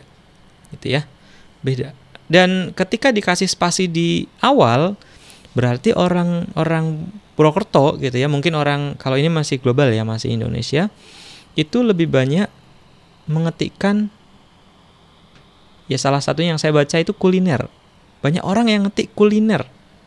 Oke. Okay? Tapi itu sudah sudah sangat spesifik ya. Kalau kita pengen tahu orang Purwokerto itu sukanya nyari apa di internet gitu ya. Boleh uh, spasinya dihapus dulu Mas Wis. Oke, okay. ketikkan misalnya jual Oke. Okay. Spasi. Nah, ternyata orang Purwokerto itu banyak ngetik adalah jual rumah di Purwokerto kemudian jual tanah, kemudian jual beli apa itu mobil bekas, jual beli HP dan seterusnya dan seterusnya. Burung ya, burung juga ada, kucing ya. Nah itu adalah uh, apa namanya prospek atau peluang-peluang yang uh, di Purwokerto gitu ya. Dan ini ya bisa disesuaikan oleh masing-masing uh, wilayah. Cilacap berbeda, kemudian Purbalingga berbeda, bahkan mungkin Pontianak berbeda, dan seterusnya dan seterusnya. Nah, kata jual ini itu juga nanti akan berbeda. Coba mungkin Mas Ois, uh, jualnya dihapus, diganti beli misalnya. Nah, ini akan mungkin berbeda. Beli iPhone, beli ya tiket Raja Wali bioskop ya, dan seterusnya dan seterusnya. Coba belinya diganti toko, Mas toko. Ini saya prediksi harusnya ada toko sepeda harusnya. Ada enggak? Ada. Ya. Karena apa? Karena naik daun sekarang banyak yang mencari sepeda. Tadi Pak Arief menyampaikan kalau nggak salah tadi di poin aktualisasi. Oke okay, ya. Oke. Okay. Toko sepeda. E, artinya itu banyak yang mencari. Nah, kita bisa membreakdown lagi, memperdalam lagi uh, dihapus semua saja dulu Mas Ois uh, atau bolehlah boleh. Tadi toko sepeda di enter aja dulu boleh. Toko spasi sepeda di Purwokerto ya misalnya. Nah Purwokerto boleh. Ada toh Purwokerto tadi tuh? Ini namanya Google Suggest ya. E, saran dari Google ya. Ya toko sepeda Purwokerto. Uh, ini nggak ada pesanan sebetulnya ya dari sponsor gitu ya. Oke, nggak apa-apa. Tapi poinnya adalah di sini yang muncul itu adalah nomor satu adalah peta. Oke, tadi kita singgung toh media toh. Media tadi local listing. Nah ini, ketika orang mencari uh, toko sepeda, Google itu langsung memberi maps. Bahkan uh, mungkin dihapus semua dulu, Mas Ois boleh? Ketik aja sepeda gitu aja bahkan kita ngetik sepeda aja gitu tak itu sudah langsung muncul rekomendasi oleh Google enter boleh akan langsung muncul peta jadi itu salah satu poin yang sangat penting gitu ya media yang wajib bagi para pengusaha adalah memunculkan peta. Walaupun memang saat pandemi ini sedang ada pembatasan mendaftar. Itu ya, informasinya seperti itu. Oke, kemudian minta tolong Mas Ois ini dihapus. Nah, di bawahnya ada stories dan seterusnya nanti diamati sendiri ya. Intinya media-media itu bisa dimaksimalkan. Oke, saya minta tolong ketikkan trends Mas Ois. Trends. T R E E ya, T R E N D S ya, trends.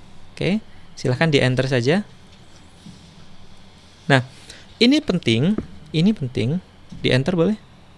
Ya, pilih yang Google Trends itu ya. Nah, boleh dibuka? Nah, ini adalah situs di mana uh, kita kalau aslinya gitu ya, ini adalah Google menginformasikan ke kita nih apa-apa yang sedang tren saat ini. Google tuh tiap hari uh, memberi informasi ke kita apa yang hari ini sedang tren. Sekali lagi, saya mohon maaf sebelumnya kalau yang muncul itu nanti kurang tepat gitu ya maksudnya kurang etis dan sebagainya karena ini live uh, mohon izin Mas Ois itu ada tulisan United States ya kalau tidak salah ya di kanan atas ya minta tolong diganti Indonesia saja karena kita berada di Indonesia. Oke. Okay. oke okay, di kebawahkan kebawahkan pelan-pelan. Nah ini uh, latest stories and insight. Coronavirus ini global ya kalau tidak salah. Ini global e, sempat naik sekali, sekarang sudah mulai turun. Maksudnya orang penasaran tentang coronavirus, tema atau topik coronavirus ini sudah mulai tidak terlalu penasaran, gitu ya, sudah mulai terbiasa. Kemudian di bawahnya lagi, nah itu, nah ini recently trending. E, saya minta tolong dibantu diperbesar, Mas Ois. Pakainya di keyboard tekan kontrol. Oke, kemudian plus plus atau scrollnya di ini biar zoom lebih. Nah, oke, okay, dikebawahkan dikit. Nah, recently trending. Sekarang uh, saya tidak tahu apakah Liga Indonesia sudah jalan atau belum. Tapi di sini saat ini ini kira-kira 24 jam terakhir itu banyak orang Indonesia itu 50k plus ya. 50 ribu orang di Indonesia itu ngetik Persebaya versus PSM Makassar. Saya juga penasaran. Jujur saya belum tahu apakah Liga Indonesia sudah bergulir. Kemudian ada Jerry Lawalata, saya tidak tahu siapa gitu ya. Saya Cooper gitu ya. Kalau Chris Dayanti saya tahu gitu ya. Live score dan seterusnya dan seterusnya itu yang sekarang kira-kira dalam 24 jam terakhir banyak diketikan orang di Indonesia. Oke. Okay? Nah, sekarang kita uh, perdalam lagi. Di sana ada kolom untuk melakukan pencarian, Mas Ois. Ada tanda love dan ada explore topics. Oke. Okay? Nah, saya penasaran uh, tentang toko sepeda. Oke, boleh ketik di situ toko sepeda. Ya. Silahkan di enter. Tik. Nah, di sini kita bisa melihat nah itu grafiknya. Oke. Pelan-pelan di sebelah kiri atas itu ada di bawah tulisan Google Trends itu ada tulisan Indonesia di bawah toko sepeda. Nah, itu Indonesia. Artinya ini adalah orang Indonesia yang mengetik toko sepeda, kira-kira seperti itu. Kemudian di sebelahnya ada pas 12 month ya. Ini 12 bulan terakhir, grafiknya seperti ini. Naik. Tajam sekali. Gitu ya. De, kalau sebelahnya saya biasanya untuk sementara saya abaikan dulu, gitu ya. Nah, ini grafiknya seperti ini di Indonesia. Oke, coba uh, pas 12 month-nya diganti boleh Mas Ois? Boleh. Pas hour juga boleh, satu jam terakhir juga boleh. Oke.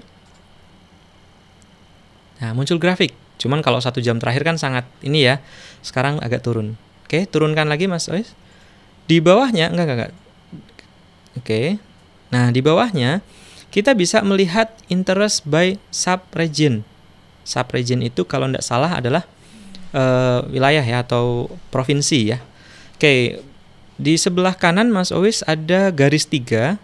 Garis tiga boleh diklik.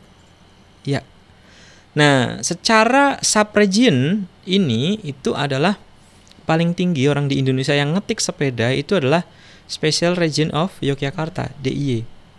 Yang kedua Jakarta, yang ketiga Banten, dan seterusnya dan seterusnya. Ini provinsi. Dan ini satu jam terakhir. Oke, kita klik subregion yang di kanan. Nah itu, kita klik Mas Ois, kita ganti city. kota karena jarang orang ngetik itu eh, toko sepeda Jawa Tengah kan jarang pasti lebih familiar Purwokerto Banyumas gitu ya nah ini di sini ternyata kalau satu jam terakhir ini adalah yang banyak ngetikan toko sepeda itu adalah di Bawen. Bawen itu Semarang ya? Dekat-dekat Semarang ya? Itu. Kemudian Yogyakarta Sewon Bantul ya? Mungkin juga Jogja kalau nggak salah ya? Oh, Magelang ya maaf.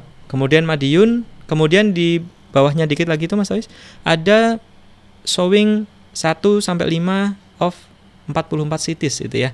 Itu bisa di next next itu. Nah itu. Itu satu jam terakhir coba kita ganti Mas Ois dari apa namanya dari satu jam terakhir menjadi 90 hari terakhir coba. Ya 90 nah pas uh, ya 90 hari terakhir. Grafiknya masih naik. Kotanya pun juga mungkin berbeda gitu ya karena ini kan akumulatif 90 hari terakhir. Nah saya yang penasaran gitu tadi uh, kira-kira diaktualisasi uh, atau sebelumnya tadi ada gengsi lah kira-kira ya. Ini tadi juga saya penasaran ada nggak sih orang yang nyari? Ya kalau dulu itu banyak orang nyari itu misalnya produk itu murah. Kalau dulu ya. Kalau sekarang kita cek. Coba boleh Mas Ois di ke ataskan dikit. Diganti boleh atau di, diganti aja ya. Toko sepeda atau ganti jual sepeda mahal gitu. Ada nggak? Grafiknya seperti apa jual sepeda mahal kemudian enter. Ada ndak? Saya penasaran. Oke. Ada. Artinya tadi ada orang yang nggak suka murah. Pokoknya yang penting mahal. Ada. Mungkin e, makanan murah atau apa juga pasti ada. Istilahnya apa? Pasarnya adalah sendiri-sendiri. Oke nah ini e, tadi yang saya paparkan untuk sementara sebagai awareness ya sebagai e, apa namanya membuka mindset itu adalah yang perlu kita ketahui kita dalami itu mulai dari tadi data di internet seperti apa Kemudian yang berikutnya adalah Google Suggest. Itu orang-orang Indonesia sukanya ngetik apa dan bisa di breakdown di sini. Yang nyari sepeda itu orang mana? Bawen misalnya. Atau mana gitu. Oke, mungkin diulang di toko sepeda, Mas. Kalau misalnya ya toko sepeda. Kalau misalnya ini kita kan di Jawa Tengah ya. Itu juga Indonesia kalau saya tidak salah bisa diganti. Coba diklik Mas Ois. Diklik ya. Diketikkan Jawa Tengah gitu bisa enggak atau Central Java ya? Central Java karena ini sebenarnya bahasa Inggris. Java. Nah ada tuh. Jadi bisa kalau kita di provinsi Jawa Tengah kita bisa breakdown nah boleh dibuka bawahkan lagi Mas Ois terus terus dikebawahkan lagi oke okay. uh, garis tiganya di open Oke. Okay? Nah, cuma un kriteria untuk masuk di Google Trend itu secara akumulatif kalau kita tulisnya adalah 90 hari terakhir, berarti kira-kira rata-rata per hari itu sekitar 500 minimal ya, minimal 500 orang yang ngetik dalam satu hari dalam 90 hari terakhir. Berarti belum sampai 500 tuh. Yang sampai 500 sementara baru Semarang. Nah, ini penting sekali lagi kalau menurut uh, guru bah uh, bahas uh, dari bahasa dari guru saya itu adalah jangan sampai seperti kita berjualan tasbih di depan diskotik. Boleh nggak jualan tasbih di depan di depan diskotik? Boleh nggak? Tidak ada yang melarang, tapi kayaknya kok kurang etis ya. ya bukan kurang ya kurang etis ya, tapi yang beli sangat ya bukan tempatnya gitu. Tapi kalau mau jual tasbih mungkin atau sajadah mungkin di depan musola, masjid, itu kayaknya kan lebih tepat. Nah, sehingga uh, tools-tools seperti ini tuh penting, sangat penting. Dan nanti kita bisa explore kalau Facebook seperti apa, Instagram seperti apa dan sebagainya. Mungkin seperti itu. Oke, karena keterbatasan waktu mungkin ini juga sudah agak over ya. Sementara saya tutup dulu mungkin uh, sebelum saya tutup di PowerPoint lagi mungkin Mas Ois kembali ke slide PowerPoint. Oke. Nah, ini tadi bisa di breakdown lagi ke slide berikutnya. Oke. Slide berikutnya. Ya. Tadi ketika saya ketik jual Purwokerto gitu ya. Orang Purwokerto itu sukanya apa sih? Nah, itu bisa gunakan kata-kata pemancing ada yang menyebut sebagai istilahnya buying keywords. Nah, ini sebagai pemancing, monggo. Eh, kira-kira orang ngetik kira-kira seperti ini. Tapi ternyata mahal juga ada yang nyari. Gitu ya. Dan seterusnya dan seterusnya. Eh, sebelumnya mohon maaf, ini waktu yang sangat terbatas, hanya bisa bahas itu. Uh, mohon izin slide berikutnya Mas Ois. Nah ini juga ada beberapa mungkin referensi untuk memperdalam nanti bisa sama-sama belajar. Kadang saya kalau sempet gitu ya, kalau sempet saya nulis di blog, monggo nanti bisa dibaca-baca. Mungkin itu sementara yang terpenting adalah kita action. Itu sih. Kalau udah action bi baru bisa dievaluasi. Kalau kita belum action ya ndak bakal bisa dievaluasi. Dan kegagalan yang paling uh, apa namanya? Ya intinya orang gagal itu ketika sudah mencoba. Ketika belum ya harus gagal total. Tahu gagal atau enggak coba dulu. Ya karena kesuksesan tidak akan pernah diperoleh kalau kita tidak pernah mencoba. Ya konsekuensi gagal oke okay, tapi e, semakin kita sering mencoba ya tentu insya Allah lama-lama pelan-pelan gagalnya akan hilang. Mudah-mudahan seperti itu. E, demikian e, sedikit materi mungkin yang bisa saya sampaikan nanti mungkin bisa kita sambung di uh, sesi tanya jawab. Demikian, terima kasih. Assalamualaikum warahmatullahi wabarakatuh. Baik, terima kasih Bapak Andi Dwirianto, Mkom ya. Tadi sudah dibahas kalau tadi di awal oleh Bapak Arif Adi Kurniawan mengenai dasar-dasar marketing dan bagaimana cara kita berbisnis dari awal ya. Kalau dari Pak Andi tadi bagaimana cara uh, berbisnis dari sisi media digital atau digital marketing. Oke, acara selanjutnya adalah sesi tanya jawab. Namun sebelum sesi tanya jawab ini, uh, kami akan ada break terlebih dahulu, Bapak, selama kurang lebih satu menit, ya. Untuk itu, bagi para peserta, apabila ada pertanyaan, silahkan ditanyakan melalui chat room pada aplikasi Zoom. Silahkan ditanyakan. Kemudian untuk presensi dan uh, evaluasi nanti akan dikirim melalui chat room pada aplikasi Zoom. Oke, baik. Kita break terlebih dahulu.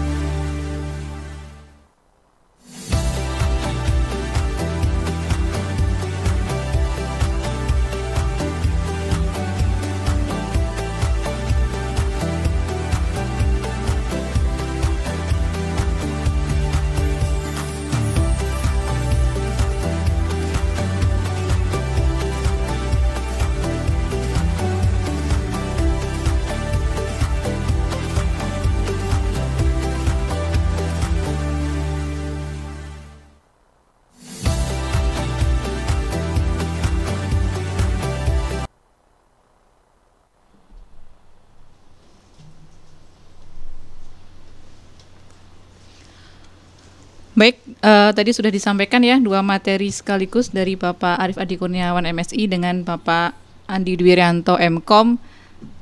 Eh, cara selanjutnya yaitu sesi tanya jawab. Ini banyak banget pertanyaan dari para peserta. Hanya karena banyak sekali maka pertanyaan ini eh, kalau bisa terjawab kami jawab semua. Tapi mohon maaf kalau memang waktu tidak memungkinkan mungkin hanya sebagian pertanyaan yang akan dijawab atau yang akan kami sampaikan. Ya, ada pertanyaan Bapak untuk Pak Andi ya. Tadi tentang digital ya Pak ya. Jadi ada pertanyaan Eh, berbicara mengenai digital ini dari Tamsir Hidayat. Berbicara mengenai digital marketing, bagaimana cara yang bisa kita lakukan dalam memasarkan produk yang kita pasarkan di media sosial agar sebagian besar pengguna media antusias terhadap apa yang kita pasarkan. Terima kasih. Ya. Ya, baik, terima kasih. E, pertanyaan yang sangat baik ya, pertanyaan yang sangat baik.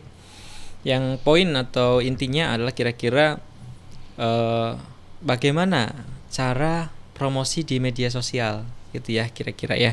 Iya. Betul saya sepakat eh, minimal saya sampaikan minimal kalau bisa itu media sosial. Kenapa? Tadi di tahap awal itu adalah chat application. Boleh? Ya kenapa tidak? Hanya saja ketika chat application eh, contoh misalnya WhatsApp kita hanya bisa melakukan umumnya ya, kita bisa melakukan promosi di grup kemudian WhatsApp Story, kemudian uh, broadcast model-model seperti itu uh, yang kita butuh kontak yang lain ya. Di sisi lain para customer kita harus punya kontak kita atau kita harus punya kontak itulah intinya seperti itu. Nah, sehingga saya menyarankan memang minimal media sosial, minimal gitu ya. Nah, di media sosial itu uh, YouTube juga bisa dibilang media sosial, tapi itu tentu bentuknya adalah vlog gitu ya video uh, blog gitu.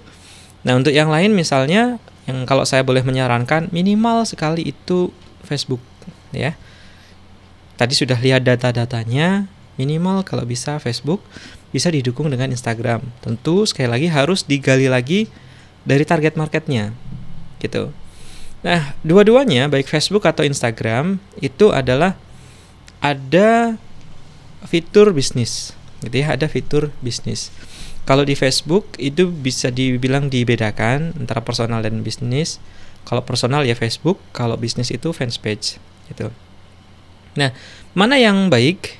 Kalau saya bilang dua-duanya baik dua-duanya bisa gitu hanya memang kalau kita sudah concern eh, langkah baiknya kita bikin fans page yang dibantu dengan akun personal dibantu dengan Facebook biasa gitu ya Nah, cara promonya bagaimana?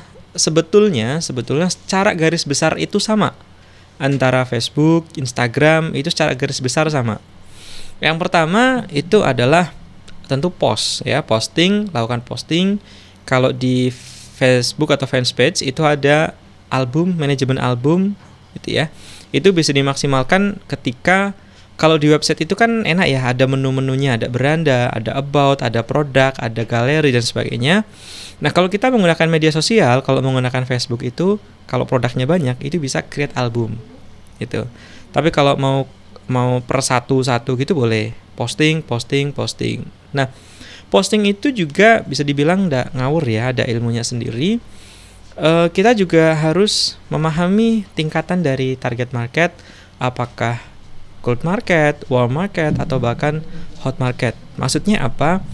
Hot market itu adalah yang sudah uh, memang minat terhadap satu produk. Kalau warm ya hangat gitu ya, yang penasaran tapi masih menimbang antara ya dan tidak. Dan yang terakhir adalah cold market atau market yang dingin, yang artinya ndak ndak kepikiran, ndak kepengin. Nah, kita bisa mengambil di sana. Kalau hot market itu kita bisa uh, istilahnya adalah um, menggunakan teknik yang namanya hard selling, langsung to the point. Kita promo. Misalnya sepeda tadi kita langsung tulis gitu ya spesifikasinya. Kalau saya atau kami biasanya menggunakan uh, teknik nulis 5W ya, minimal 5W. What, kemudian uh, wa, uh, who, why, when and where. Boleh diotak-atik, boleh. Hot market, uh, direct uh, marketing ya atau atau apa namanya eh, hard hard copy atau apa segala macam ya. Intinya penjualan secara langsung, promo secara langsung 5W. Misalnya tadi W yang pertama adalah what, misalnya nama toko sepedanya apa, kemudian atau jenis sepedanya apa. Yang kedua adalah untuk siapa, dari siapa boleh kalau mau nulis produsennya apa segala macam ya. Apa untuk siapa? Kemudian yang ketiga adalah keunggulannya apa? Sepeda ini atau toko Anda boleh. Kemudian yang keempat adalah e, di mana bisa mendapatkan dan yang kelima when bagaimana cara mendapatkannya dan sebagainya. Itu kalau mau e, hard selling ya, hard selling itu untuk yang hot market yang memang cari. Nah, kalau untuk yang warm ya boleh menggunakan teknik e, story ya, cerita Tadi pagi saya pergi ke kantor menggunakan sepeda misalnya. Sepedanya merek ini apa segala macam. Kalau kepengen silahkan beli ke toko Ah, misalnya seperti itu. Soft selling lebih halus lagi, kira-kira seperti itu untuk yang cold market. Yang tadinya nggak kepengen, uh, ini udah udah lewat ya jam makan siang ya. Nah, misalnya ini jam-jam makan siang tuh pas banget gitu kan. Ada apa bakso atau nasi goreng gitu ya, dibuat-buat narasi yang uh, membuat ngeces ngeces gitu ya. Itu yang tadinya nggak kepikiran bisa jadi kepikiran dan kepengen beli gitu. Nah postingnya tentu juga harus diatur biar nggak bosan nah nanti di sana kita bisa juga belajar yang namanya konten marketing. Di sana ada kalender konten. Tiap hari posting apa sih? Mau mau promo terus kan enggak nah itu harus kita atur memang namun sekali lagi ini butuh pendalaman-pendalaman contoh eh, apa namanya sekarang bulan Oke, yang paling dekat nih, yang paling dekat uh, adalah hari raya Idul Adha ya atau hari raya Kurban. Mungkin bisa gunakan momen itu gitu. Boleh kita misalnya kalau mau bisnis hewan kurban boleh. Kalaupun enggak, nggak apa-apa. Tapi kita mau memanfaatkan momen. Misalnya bagi Anda yang berkurban boleh dikasih bonus apa misalnya gitu. Atau misalnya ini hari kurban, kami uh, ada diskon tertentu. Ah, kira-kira seperti itu ada momen, ada kalender konten, ada ada dan sebagainya. Kemudian ketika posting, nah ini juga perlu diatur waktunya, bukan hanya harinya ya, tapi waktunya. Kemudian kalau di Instagram menggunakan hashtag, hashtag kalau saya biasanya minimal menggunakan keywordtools.io gitu ya. Ketik aja di Google keywordtools.io itu kayak apa? Keyword tools gitu ya. Pilih yang keywordtools.io, nanti di sana ada pilihan Instagram, hashtagnya apa yang sering banyak digunakan. Kira-kira seperti itu, gitu ya. E, nanti boleh diperjelas kalau waktunya masih ada bisa dilanjut. Tapi poinnya kira-kira seperti itu. Baik, terima kasih Pak Andi. Ini mungkin PR e, untuk Pak Andi banyak ya, karena banyak yang menanyakan untuk Pak Andi. Jadi Pak Andi ini harus siap-siap ya Pak ya. Oke, pertanyaan selanjutnya dari Nur Intan Saufika. E, bertanya bagaimana cara untuk membuka usaha terutama untuk pelajar dan mahasiswa yang belum memiliki modal, Pak? Ya, bagaimana memulai ya, memilih, memulai untuk pelajar yang belum punya modal. Tadi sebetulnya sudah sedikit banyak sudah saya sampaikan di uh, slide materi tadi. Ada tiga tips gitu ya. Mulai dari yang anda sukai, kemudian yang ada, gitu yang ada di sekitar misalnya, dan yang siap, gitu ya. Yang siap uh, uh, sudah ada fotonya, sudah ada uh, deskripsinya kayak gitu ya. Kalau belum ada tidak apa-apa. Kalau saya biasanya saya pernah menyarankan uh, ke teman saya dan diambil saran ini. Di sekitar kami itu ada toko tadi perlengkapan atau peralatan bayi gitu ya. Nah, silahkan misalnya datang ke situ. Misalnya pertama kalau ndak enak gitu ya beli dulu. Misalnya dot untuk bayi misalnya. Kemudian yang kedua beli apa. Yang ketiga beli apa lagi. Nah di situ nanti mungkin kasir sudah mulai akrab ya. Itu boleh baru tanya tanya e, boleh nggak kalau misalnya e, saya e, ngambil produk dari sini untuk saya bantu jual dan sebagainya. Nah itu e, mungkin juga nanti Pak Arif bisa menambahkan itu dari hukum juga lebih lebih apa namanya lebih baik ya. Kita minta izin kepada uh, supplier. Jadi nggak asal gitu ya. Kemudian harganya mau di berapa boleh apa enggak hmm, lebih baiknya izin. Kira-kira seperti itu sih. Jadi memang nggak harus semua modal produk tadi sudah ada tips-tipsnya dan yang terpenting adalah action action yang paling mudah itu adalah pakai Facebook ya karena free gitu ya. Bahkan dulu eh, boleh Mas Ois, Mas Ois, boleh dibantu buka browser, buka kalau bisa eh, buka browser, kemudian bu- buka search engine Google sama buka Facebook boleh kalau misalnya memungkinkan. Dulu eh, saya awal-awal gitu ya, boleh saya buka sedikit ya. Saya eh, produk saya dulu awal itu adalah em, ya intinya salah satu produk solusi, gitu ya. Solusi untuk eh, bagi orang yang punya jerawat, misalnya gitu. Eh, Boleh Mas Ois eh, Facebook masuk ke Facebook, Facebook saja dulu ya. Nah itu saya pertama kali itu saya bikin blog gratisan, kemudian untuk lebih memaksimalkan saya menggunakan Facebook biar cepet, gitu ya, biar cepet. Nah di Facebook ini bisa lebih menggali lagi sebetulnya. Nah cuma sebelum kita bicara lebih jauh, eh, saya mohon izin, poin yang paling penting di sini itu adalah etika, ya, etika bisnis. Itu juga kalian harus pelajari. Prinsipnya adalah kalau tidak mau disentil, jangan menyentil. Kira-kira seperti itu. Oke, di Facebook eh, Anda bisa perhatikan di sebelah kiri atas, ya ini ini tampilan Facebook yang baru, dark mode gitu ya, yang baru. Itu ada kolom pencarian. Gitu. Ada kolom pencarian di sana. Boleh Oke. Sebelah kiri atas ada kolom pencarian. Dulu saya memaksimalkan fitur ini, gitu ya. Di sini Anda bisa mem- memaksimalkan marketplace, posting di grup, gitu ya. Anda juga bisa memaksimalkan eh, kolom search di sana. Misalnya nih, boleh saya dibantu ketikkan di sana, boleh ya dulu saya produk solusi jerawat misalnya. Boleh di sana ketikkan jerawat di kolom pencarian. Jerawat. Nah, di sini ada muncul banyak suggest, ada jerawat batu, jerawat dan sebagainya. Nah, ini ini teknis sekali ya.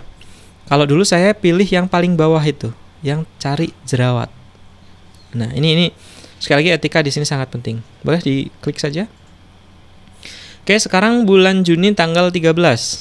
Nah, di sini akan muncul semua tentang jerawat dari grup, dari fans page dan sebagainya. Kalau saya biasanya fokus ke postingan Mas Ois. Postingan sebelah panel kiri. Nah, itu postingan tek. Nah, di sana saya fokus.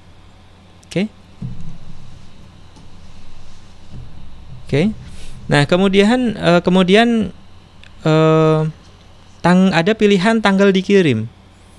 Ada tanggal dikirim sekarang bulan Juni. Oke, diklik. Ya. Oke, dibawahin lagi ada enggak? Oke. Hanya 2020 ya. Oke, 2020. Oke. Kalau tampilan Facebook yang sebelumnya ada bulan kita bisa lihat. Nah, di sana ada tools juga sebetulnya untuk mencari yang by latest gitu ya. Eh, di sini biasanya akan ada orang-orang yang eh, makanya saya selalu menyarankan anak-anak mahasiswa gitu ya, teman-teman mahasiswa itu usahakan tidak lebay di media sosial, tidak apa namanya? Tidak share yang galau-galau. Kenapa? Karena kalau kita galau itu jadi target market.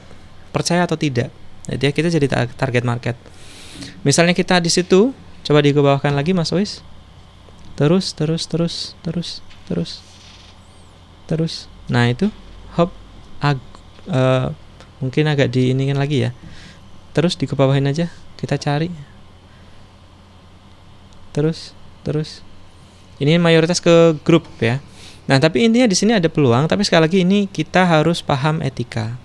Boleh juga kita posting di marketplace, mungkin ke Facebooknya, Mas Ois. Ini juga di Facebook ada marketplace, kita bisa maksimalkan fitur itu, gitu ya. Jadi tidak perlu takut. Jadi silahkan pilih produk yang sesuai apa segala macam. Silahkan segera posting saja. Nah postingnya etikanya yang penting eh, sorry menjaga etika dan saran saya ada gambar dan ada tulisan. Oke, itu mungkin sementara. Terima kasih Bapak Andi. Selanjutnya ada pertanyaan untuk Bapak Arif ini Pak. Sudah siap ya Pak ya? Dari Al Bakri Fajar Nur Fadilah. Bertanya bagaimana cara analisa marketing yang baik agar produk yang kita pasarkan dapat bersaing dengan produk lain, Pak? Ya, terima kasih. Pertanyaan yang bagus dari siapa tadi? Al Bakri Fajar Nur Al Fadila. Bakri agar produk kita dapat bersaing. Ya. Eh, pertama ya, kita perlu membagi pasar dalam segmen-segmen ya, dalam segmen. Artinya setiap segmen itu ada konsumen dengan daya beli yang berbeda. Nah, kita bisa merancang, membuat strategi strategi pemasaran dengan merancang produk yang akan kita pasarkan pada tiap tiap segmen. Nah, kalau tadi ya ini hari ini bintangnya produknya adalah sepeda ya. Nah, sepeda itu kalau dicari di marketplace itu nanti akan di sana ada merek sepeda, terus kategori sepeda berdasarkan harga. Setiap produsen sepeda di sana me- membuat produk, memasarkan produknya dengan tingkatan harga yang berbeda. Ada yang diciptakan untuk eh, segmen harga 1 sampai 2 juta ada produk yang diciptakan untuk segmen 2 sampai 3, 3 sampai 4, 4 sampai 5, 5 sampai 6 dan seterusnya. Nah, di sana produk tersebut dibuat ya, dan dipasarkan dengan segmen-segmen yang berbeda. Jadi kalau kita pengen unggul pada satu segmen, maka kita menampilkan atau mempromosikan keunggulan-keunggulan produk kita dibandingkan dengan produk yang lain pada segmen tersebut. Jadi kita memang harus memilah milah segmen tersebut. Apakah produk kita itu untuk segmen harga bawah, menengah, atau tingkat atas. Jadi buatlah produk tersebut sehingga produk tersebut itu ada alasan untuk dibeli konsumen. Jadi tampilkan keunggulannya, ya kemudian pilih segmen untuk memasarkan produk tersebut. Demikian Mas kira-kira. Baik Bapak Arif Adi Kurniawan, terima kasih. Selanjutnya ada pertanyaan dari Tri Rahayu. Ada pertanyaan Pak Andi ya. Untuk yang sudah merintis usaha dan belum berbasis digital, bagaimana cara memulai digitalisasinya dan bagaimana cara untuk bersaing yang tepat? Baik, uh, terima kasih. Ini juga pertanyaan yang sangat baik. Sudah punya usaha, gitu ya, sudah punya usaha konvensional dan ingin mulai digital. Baru mulai ke digital, oke? Okay? Nah, saran ya pelan-pelan dulu tadi dari yang pertama chat application, tapi kalau saya boleh ngasih masukan minimal itu adalah media sosial dan di media sosial itu lagi-lagi disesuaikan dengan target market. Tadi minimal sudah agak tahu ya. Dan sebenarnya bisa di breakdown lagi berdasarkan usia dan sebagainya. Kalau tadi kan baru jenis kelamin. Yang menggunakan Facebook bisa dibilang lebih banyak laki-laki. Gitu ya. Instagram itu lebih banyak perempuan.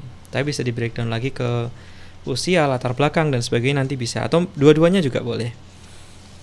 Ya, memulainya itu dari media sosial dari Facebook misalnya. Nah, saran saya untuk untuk ketika mulai masuk ke digital dan menggunakan media sosial, pasti di sini akan ada dua pilihan. Create baru atau cre uh, menggunakan yang sudah ada, gitu ya. Itu pilihan. Create baru boleh, menggunakan yang sudah ada juga boleh. Masing-masing ada kelebihan dan ada kekurangan. Kalau yang sudah tersedia sudah sudah punya lama gitu ya itu kelebihannya adalah lebih trust gitu. Tapi kekurangannya kalau saya boleh ngasih saran anda harus filter. Apa yang sudah diposting sebelum-sebelumnya yang kira-kira kurang etis harus dihapus disingkirkan dulu gitu ya. Karena ketika bermain media sosial itu suka tidak suka kita harus main trust gitu ya. Bagaimana agar pelanggan kita percaya dan bisa dibilang ya kalau bahasa sekarangnya adalah pencitraan gitu ya. Citra harus baik Kira-kira seperti itu. Di Instagram pun juga boleh. Nah, kalau di Instagram tadi e, bisa belajar hashtag, hashtag populer gitu ya, hashtag by lokasi kayak gitu. Itu bisa bisa dipelajari, bisa di lampirkan pada saat uh, posting. Itu mungkin Kak yang bisa saya coba jawab. Oke, terima kasih Bapak Andi. Uh, selanjutnya ada pertanyaan Pak Andi lagi nih ya. Uh, bagaimana cara menyiasati strategi marketing dalam bisnis digital, Pak? Menyiasati strategi marketing dalam strategi bisnis marketing digital. dalam bisnis digital. Oke. Okay. Ketika kita bicara strategi, strategi itu kan uh, besar, luas, jangka minimal menengah, oke. Okay? Strategi digital marketing. Nah, kita fokus ke digital marketing saja atau mau strategi secara keseluruhan? Itu dulu. Ketika kita mau berbicara strategi bisnis uh, bisnis ya dalam dalam digitalnya digital promotionnya gitu ya maka sekali lagi ini long term ya menengah uh, panjang gitu ya. Kalau memang sudah mantep sudah klik usaha saya ini gitu. Kalau masih coba-coba bolehlah. Misalnya pakai blog gratisan kalau saya dulu dan sampai sekarang gitu ya fam paling familiar misalnya dengan WordPress ya silahkan pakai WordPress yang gratis. Tapi kalau sudah klik ya saya akan mau bisnis ini maka eh, siapkan mulai dari website. Itu. Pertama mungkin website profile dulu profil perusahaan atau usahanya. Nanti bisa dikembangkan pelan-pelan ke eh, e-commerce ya. Kemudian nanti bisa dikembangkan lagi ke sistem affiliate dan sebagainya. Bahkan ke mobile gitu ya di di Play Store di App Store gitu ya sampai sana. Dan yang tadi yang paling penting tadi ya tujuan dari bisnis itu kan adalah keuntungan profit. Untuk profit harus ada penjualan dan untuk ada penjualan harus ada promosi ya apa pun monggo gitu. Uh, untuk long term uh, kita punya target punya tujuan Nah untuk mempermudah itu ya idealnya kita ada e, dibantu nggak sendirian. Nah dibantunya bisa menggunakan kalau kita memang produsen gitu ya kita bisa dibantu dengan distributor, nanti bisa dibantu dengan agen, bisa dibantu dengan reseller. Mungkin itu ya kalau channel nanti semua dimaksimalkan. Tentu dengan sekali lagi e, kalender konten ya kalender konten. Nanti kita bisa belajar juga tentang kalender konten. Oke. Okay? Baik, terima kasih Pak Andi. Tadi udah bicara tentang blog ya Pak ya. Oke. Okay. Singgung tentang blog. Kebetulan ada yang bertanya, apakah untuk saat ini berjualan dengan blog ini masih ada peminatnya Pak? Wow. Apakah berjualan dengan blog masih ada peminatnya? Saya pastikan masih. Saya pastikan masih. Kenapa? Satu saya sendiri, yang kedua itu eh, banyak teman-teman saya juga bahkan sebetulnya tidak harus tidak harus blog. Ya tidak harus website tidak harus blog. Tapi hanya dengan nulis artikel aja itu bisa untuk channel untuk kita promosi gitu. Contoh misalnya beberapa teman saya juga uh, kita pernah diskusi bareng belajar bareng gitu ya. Uh, memanfaatkan media misalnya seperti uh, Kompasiana. Kemudian memanfaatkan seperti misalnya uh, medium.com Wattpad dan seterusnya dan seterusnya. Itu sangat besar. Kenapa? Karena sebetulnya media apa pun itu yang perlu diingat adalah tidak semua pengguna internet, tidak semua customer itu teredukasi dengan baik. Tidak semua. Sehingga ada yang uh, hanya ngetik apa gitu ya. Kemudian muncul di Google ada nomor HP misalnya gitu ya. Terserah mau dia mau pakai blog gratis, mau pakai artikel apa gitu ya. Yang penting pengguna mudah bisa menghubungi, clear, ya itu sudah maka trans uh, terjadi transaksi di sana. Jadi ketika uh, ditanyakan seperti itu, saya pastikan masih, gitu ya. Bahkan saya juga membantu beberapa reseller saya untuk uh, saya buatkan blog, gitu ya, walaupun versi gratis dan ya setidaknya di sana ada ada feedback, feedback yang baik. Mungkin itu. Baik, terima kasih Bapak Andi Dwirianto ya e, banyak sekali pertanyaan ke, ditunjukkan kepada Bapak Andi Dwirianto. Terima kasih juga kepada dua pemateri pada siang hari ini, Bapak Andi dan Bapak Arif Adi Kurniawan. Mohon maaf untuk para peserta dikarenakan waktu sudah menunjukkan pukul 3, maka untuk pertanyaan yang belum sempat kami bacakan atau belum sempat kami jawab, mungkin nanti bisa ditanyakan via grup ya, via grup WA. Eh acara selanjutnya yaitu kesimpulan. Ya, untuk kesimpulan untuk acara webinar pada siang ini adalah tadi sudah dijelaskan oleh Bapak Arif Ade Kurniawan bahwa dalam memanfaatkan eh, situasi seperti ini ya kita harus pintar-pintarnya dalam menggunakan kemampuan atau keyakinan kita dalam berbisnis ya. Tadi sudah dijelaskan ada teori Maslow dari Bapak eh, Arif menjelaskan ada lima teori Maslow. Yang pertama teori kebutuhan fisiologi, kemudian yang kedua adalah teori kebutuhan akan rasa aman, yang ketiga teori kebutuhan interaksi sosial, dan yang keempat kebutuhan penghargaan atau harga diri, dan yang kelima kebutuhan aktualisasi diri. Jadi eh, tadi kata Pak Arif kalau kita mau berbisnis tuh jangan ragu-ragu ya sesuai dengan kemampuan maupun keyakinan yang kita miliki. Kemudian kesimpulan dari Bapak Andi tadi tentang digital marketing ya sudah dijelaskan tadi ada beberapa media sosial yang bisa digunakan yaitu ada Instagram, YouTube, kemudian ada Facebook dan lain sebagainya. Kemudian nanti juga eh, ada juga kalau kita mau berbisnis itu eh, menggunakan eh, location ya Pak ya. Location untuk mempermudah ya untuk mempermudah kita dalam pe- konsumen itu mencari usaha kita atau toko kita ya. Nah, kesimpulan selanjutnya adalah dari Pak Andi yaitu berbasis dengan mengikuti perkembangan zaman. Ya ini ya ini kalau eh, zaman sekarang adalah zaman digital, maka kita harus mengikuti perkembangan zaman yaitu dengan menggunakan media digital. Eh, Oke, kesimpulan pada siang hari ini dari dua narasumber kemungkinan ya sudah baik ya, maksudnya eh, mereka eh, Bapak Andi Dwirianto dengan Bapak Arif Adi Kurniawan sudah memaparkan materi dengan eh, baik. Semoga bermanfaat untuk para peserta. Alhamdulillahirrahmanirrahim, tiba saatnya kita di penghujung acara. Terima kasih atas perhatian dan kerjasama hadirin semua. Mohon maaf atas segala kekurangan. Semoga ilmu yang kita dapatkan saat ini bermanfaat di masa yang akan datang. Harta semakin hari akan semakin habis, tetapi ilmu semakin hari akan semakin bertambah. Sekian dari kami. Wassalamualaikum warahmatullahi wabarakatuh.